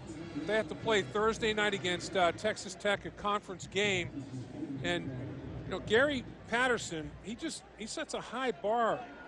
You know, I Oh, mean, yeah. he wants he wants his players to be the best they can at all times, both on and off the football field. He wants to teach accountability and responsibility. And he did the right thing with them. This is Harrell. Steps into the inside, oh. trying to get back to the line of scrimmage, and finally does. Maybe even picks up a yard on the play. See, that's my whole thing, Ron. When you talk about Fields and other guys Yeah. that, that Gary Patterson has decided that he needed to help, you know, speed, size, strength, those are all nice abilities to have. Makes you a good football player. But accountability, responsibility, reliability, dependability, those are abilities you need for life. That's right. And Gary Patterson's teaching life lessons, not just football lessons. I think he should be commended for that. I would agree 100%. And we've got a player down. Big motivational guy, Gary Patterson. You go into the locker room, they've got a pyramid. They call it the MTXE, mental toughness, extra effort. Yep. And at the top of the pyramid is national championship. And, and it, it goes down, you know, bowl wins, beating this team, beating that team. And once you buy into what Gary wants to do, you're supposed to sign that pyramid. Everybody on TCU's team has signed it. Andy Dalton, uh, who's got off, getting off to a great start, quarterback with the Bengals, uh, playoffs his first two seasons. He said, Gary Patterson maximizes the skills of players. Very demanding, but boy, if you can take it, he'll make you a better person. And we'll take a timeout while the injured player is being tended to. TCU leading. Look at our Coors Light first half, second half game summary. Frostbird Coors Light, the world's most refreshing beer. Well, you lose your quarterback to a left forearm injury. That that uh, that's not much, you know, for your psyche. But in comes Boykin, who's an experienced backup quarterback, and look at the numbers he's put up, mostly in the second half. That's great to have that kind of depth. On third down, 0 for 4 in the second half on third down for Southeast Louisiana, and Sutton is stood up, and he's going to be pushed back to the 45 yard line. That'll be a loss of five, bringing up fourth down. When Sutton was taken to the ground, there were eight purple jerseys within a yard of him. This football team runs to the football. He bobbles the ball. Two guys hit him. Look at all the other purple jerseys in hot pursuit. I mean, everybody wants a piece of the action. That's just good team defense. You know, a night before a game, the defense gets together. They have a defensive test. They put a formation up. The whole defense shouts out what they could do. Then each player's got to say his responsibility. And then it's going to pooch kick it again, and this one will get a lucky fan a souvenir. Let's check in with Jim Knox. Hi, Ron, right now they're working on Rashid Harrell's left ankle. They did a few tests with him. Everything checked out, so they're taping him back up, and he will be back in. They need him. Noxie, what's the temperature like down there, my man? I think it's a nice, cool 110 right now, Dave. that right? In fact, you ought to join me down here. I We'll saved a pass. spot over here. You're looking marvelous, my man. Oh, looking yeah. Marvelous. It's a different defense. They gave up 26 first downs last week against LSU. Of course, LSU is in a whole different category. Yeah. But Yep. you, you think about it, though, this defensive of TCU, they lost Stanley Maponga also. Right. He decided to go early to the NFL. What would he have meant for this team with Fields together again? Yeah, and, a couple of linebackers decided to go early too. That if they had, would be nice. Boykin hands off. They're just going to try to keep it on the ground as we are inside of 11 minutes. Aaron Green getting a lot of playing time today. Talked about his pedigree. You know, uh, in the regular season, TCU is 24 and 8 after a loss under Gary Yeah. Patterson. They very rarely lose two in a row. They've never lost three in a row. The whole time he's been head coach, they've never lost three in a row. I remember uh, last year the Bengals had a three-game losing streak. I went up to Andy Dalton. I'm like, man, what's it? He said, I've never lost more than two games in a row in my entire athletic career. Even at TCU, we never lost more than two games in a row. He went 42 and seven here as a starting quarterback. And most of those came after he got engaged to his current Yeah. wife. Hand off to Green. He has stood up. That'll bring up a third down and about six. That's a true story, though. Yeah, They, they, they actually well, his, his completion percentage went way up. Yeah. yeah, his completion percentage was like 78 percent after you got engaged. I mean, All the coaches were saying, "Why didn't you get engaged earlier, big guy?" Right. In fact, he still has a house here at uh, in Fort Worth area. Works out with the team in the off season. a big impetus for the renovation of the stadium. This is the, kind of the house that Andy Dalton re- renovated a little bit. Slightly. Third down, we'll call it five, and Boykin will go with an empty backfield. Changing the play on the line. He's got three wide receivers to the left, two at the bottom of your screen. Three man rush by the Lions. Boykin, plenty of time. Tucks in, and he is going to be dragged down from behind at the 23 yard line.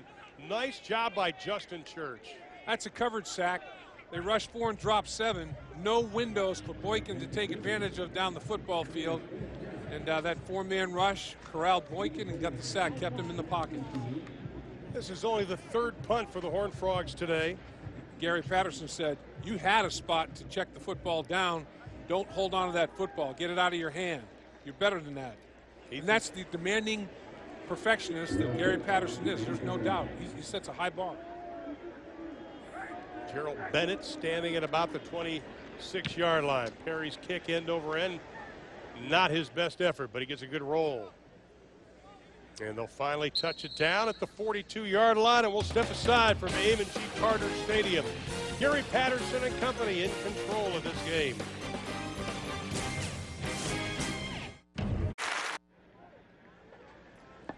Final eight minutes and 40 seconds here in Fort Worth, and TCU leading handily 38-14. Time now for our principal financial play of the game. Well, Ron, here comes Jeff Smiley, number 14 in motion, sets up as a wingback.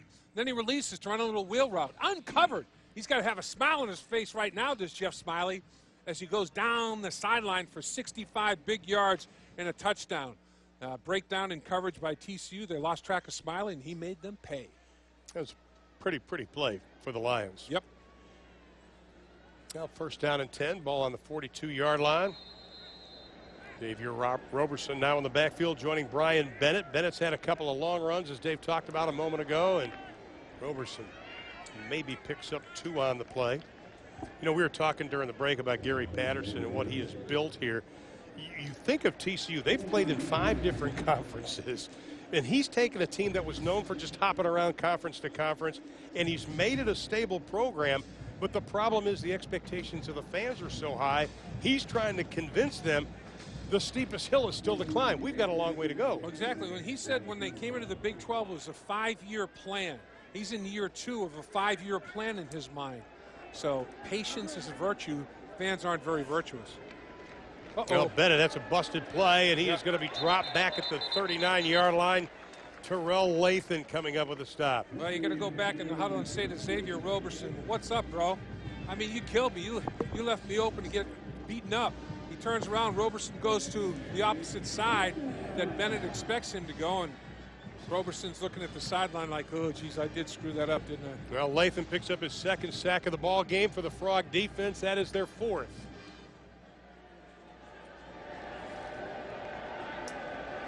Ron Roberts got to be pretty pleased with his team. Once again, finished five and six last season. Now his team faces a third down and 11. Ball on the 41 yard line. Timeout, Southeastern Louisiana. Yeah, First they- charge of the second half. And they want to talk about it. 30 second timeout. They're not winning uh, enough in the second half on first down run. Right. They're finding themselves second and third and long continually. And here they are, third and 11. That's not where you want to be against Gary Patterson and company with all these pressure packages they can come up with. Now, Southeastern Louisiana had an 18 year hiatus. The program came back in 2003 after being disbanded in 1985.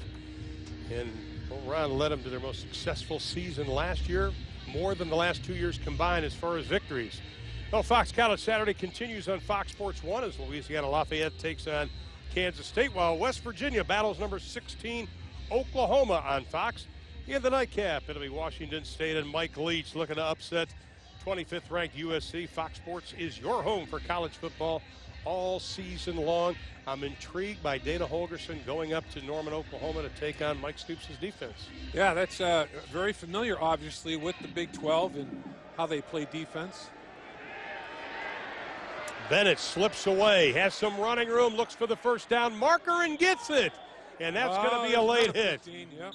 That is not smart. You've got to keep control of your emotions, and Dawson is whistled, and I think we may have two. Well, one of the I think one of the players, unless the, the official threw his hat and threw a towel. See, what happened is the, the penalty occurred in front of the Lions bench, and then the Lions had a few things to say to uh, to TCU on that sideline, and Gary Patterson is livid. Absolutely that, livid. That his team lost perspective of where they were on the football field. Bennett has now rushed for over 100 yards again, I would think, at this point, and that's way off the field of play. You have to know where you are. And that time, Paul Dawson had no clue where he was, delivered a late hit. Now here we go on their sideline and a little extracurricular. Two, two steps out of bounds. He's past the five-yard area. There are fouls against both teams on the play. After the runner went out of bounds, personal foul. Late hit on the defense, number 47. Unsportsmanlike conduct number 51 of the offensive team on the bench. That's a second unsportsmanlike conduct foul of the game.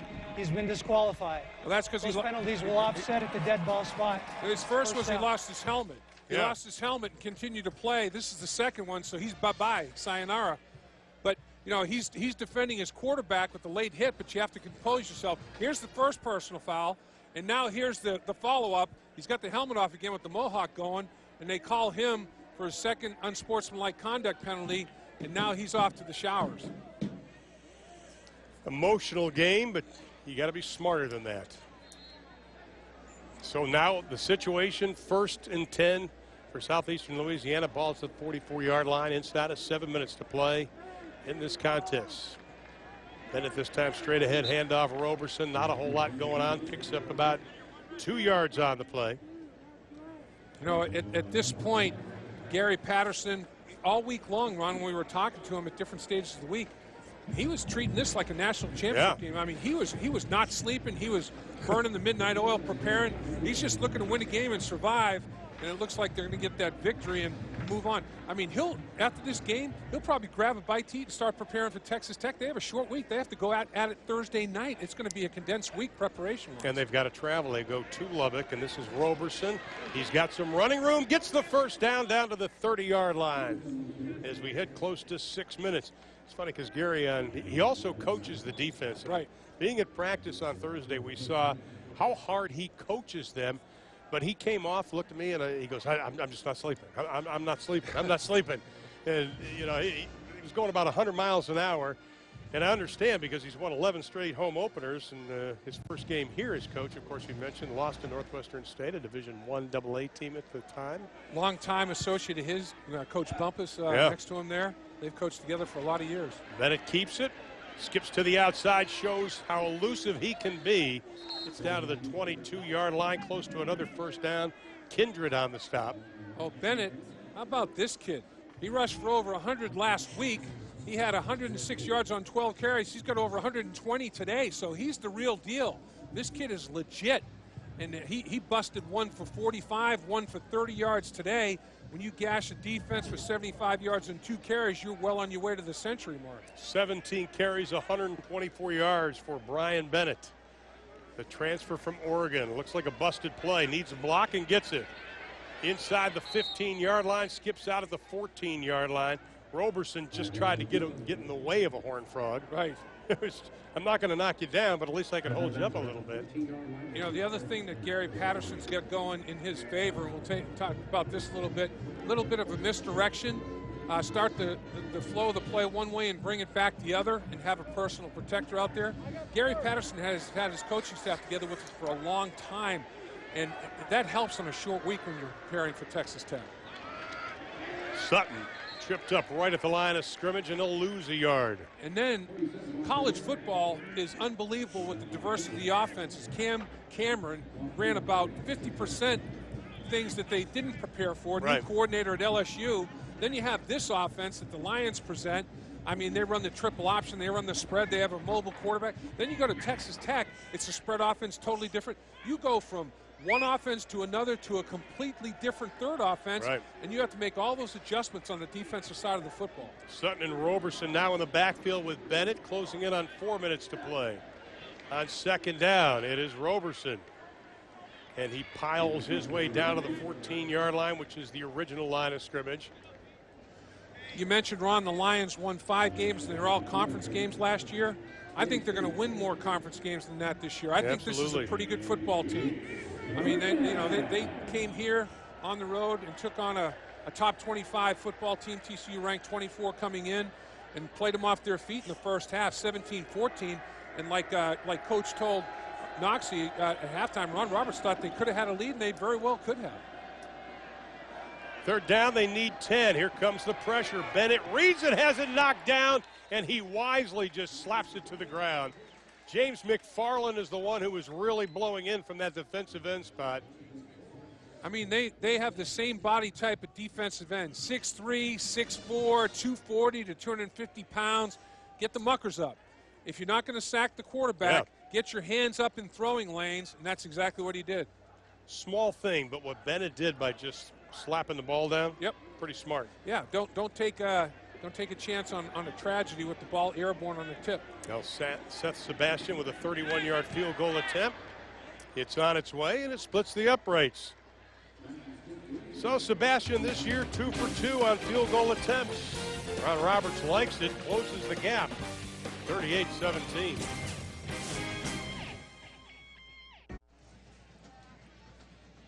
Whataburger presents today's What a Player. Try one of Whataburger's all-time favorites 24 hours a day. Trevone Boykin replacing Casey Pachall's done a pretty good job this afternoon. High completion percentage, averaged seven yards per run. This type of aggressiveness, he can hurt you with his feet, then he can hurt you with that throwing arm. To the middle of the football field, a couple of times, gashing the defense between the hash marks. Then he starts going to the perimeter and hurting them. Broken coverage right here, touchdown pass, get the ball out in space to your talented running backs, let them make people miss after the catch. Total command of the offense, very versatile athlete. You know, he's a wide receiver, he's a running back, he's a quarterback. He's period stud, exclamation point. You onside kick? Ah, they're TCU's uh, protecting for it. I'm not sure I do. I may try a little mortar kick, like a little pooch kick, and uh, see what happens with that. Let's See what Ryan Adams does. He decides to drill it. It goes over the head of Deontay Gray, goes into the end zone, and 3.25 on the clock. TCU will have the football. You were talking about the game Thursday night at Texas Tech. You got to go to Lubbock, but talking to the coaches on Thursday at practice, they said, yeah, we'll go in, shower, and by the time we get out, the food will be there. Yeah. And we're, we're working. And they'll Yeah. work through the entire night, they said. Exactly. You got to start breaking down the tape because you've got two less work days. So I mean that's uh, and honestly though they started prepping for Texas Tech. They were taking snaps against Texas Yeah. Tech during their fall camp because that's the conference opener. That's an important game. So they, they, they have not neglected them. There's a good look at Tyler Matthews, who's checked into the game at quarterback, the redshirt freshman out of Wichita, Kansas, 6'4", 220. He was the number one recruit in Kansas. Kansas wanted him. Kansas State wanted him.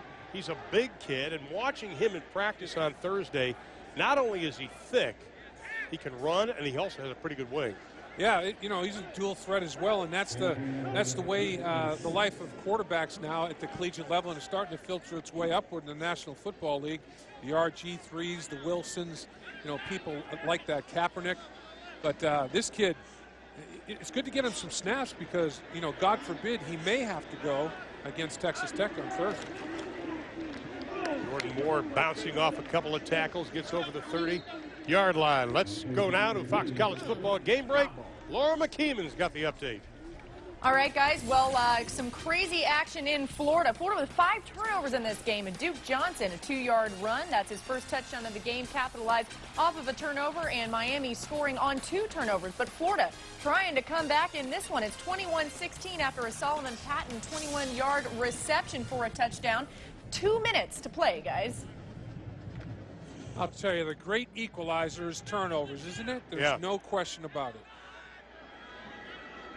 And now facing third down and three, Matthews from the gun.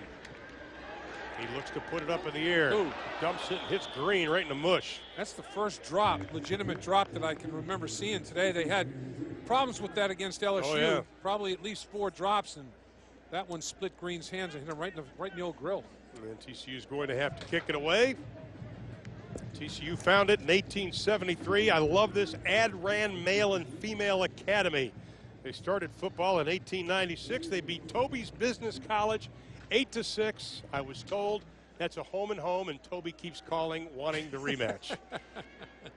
that's what I'm just telling you. That's what I heard. It was a good game, Ron. I remember that well.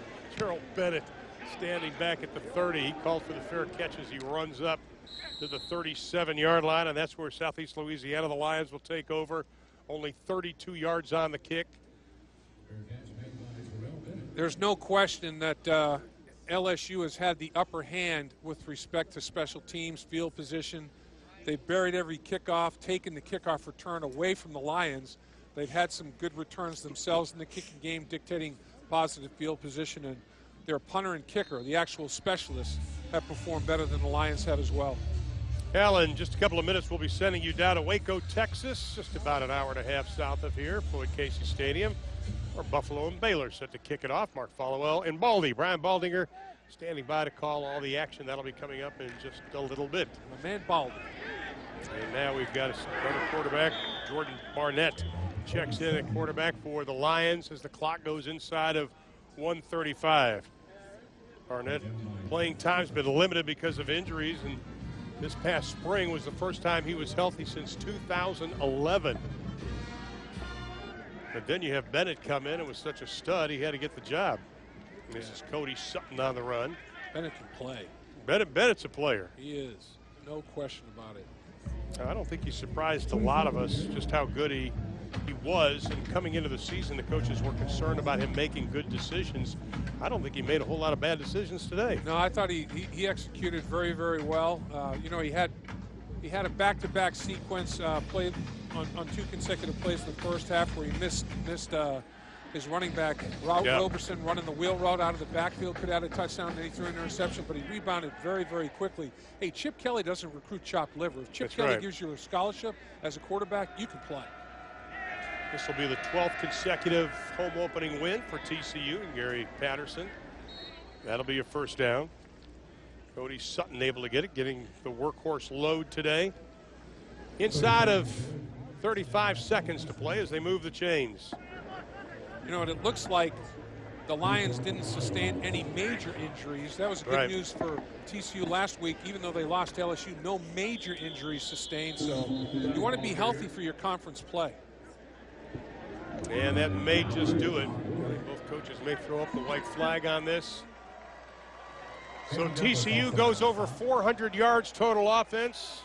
Southeast Louisiana will have one more play, and that'll be Sutton again, and that's going to do it. They'll finish under 210 yards, but TCU, after holding on to a three-point halftime lead, they lose their starting quarterback, Casey Pachall but they come out and explode in the second half of the victory. That's the only negative, Ron, is the injury to Pachall looked like it may have some significance to it. It's a left forearm. Let's just uh, pray that it's not the worst. Ron Roberts' team did a great job. They go to one and one on the season. But boy, he had a heck of a first half. BJ Catalon, he was a workhorse today for TCU, rushing for 59 yards. I really like uh, what Bo- Boykin gives them at the quarterback position, though, with his feet and his strong arm both. Gary Patterson standing by with our Jim Knox right now. I appreciate it, Ron. Coach, I tell you what, it must have been a heck of a halftime talk. You guys looked like an entirely different team in the second half. Can you re- give us a reason why? No, I, you know, it's except we just started running our offense. defense make plays. We gave up a couple big plays in the first half, and then we came back and played better defense. But uh, got to play all game, four quarters. It's hot. It was hot for them too. Casey Pachall went out with an arm injury. Do you know anything about it? Yeah, I don't know if he'll be back. That So- serious? Yeah. Okay, next week, yeah, or actually an, a, a very short week for you. Texas Tech on Thursday. I know you've already been working on them earlier. Uh, I haven't overlooked this game, That's fine. but you did work with them a couple a couple of weeks ago. You did work on Texas Tech. Your thoughts about opening the conference earlier this year? Well, we lost a coach to them, so he knows everything about us. So we got to do a lot, good job of changing things up, understanding how we do things. That's what we did in the spring, starting two days, and uh, big ball game. Lubbock's a hard place to play. They got great fans, and uh, so we got to get ready to play. All right, Gary, congratulations on the big Thank you. win. Ron, back to you. All right, thanks, Jim. After the LSU loss, Gary Patterson standing out in the locker room, telling, encouraging the players to keep their heads up. And he says, We're only going to get better, and I think they took another step towards that. I think they did, but uh, it sounds like unfortunately they lost Pachall for Yeah. for Coach Patterson to say I don't think he's coming back. Unfortunately, I think the worst may have happened to him, and back-to-back seasons, uh, suspension and then injury. What more adversity can this young man have to deal with? But it's a victory for TCU. Once again, they go over 400 yards total offense, holding Southeast Louisiana to 339 yards. But once again, the final score: TCU wins it, 38 to 17. For Dave Lapham, Jim Knox, and our entire Fox Sports crew in Fort Worth, Texas. I'm Ron Thulin, and after the break, we'll take you to Waco, Texas, where Baylor set the host Buffalo. As we say goodbye from Fort Worth, Texas.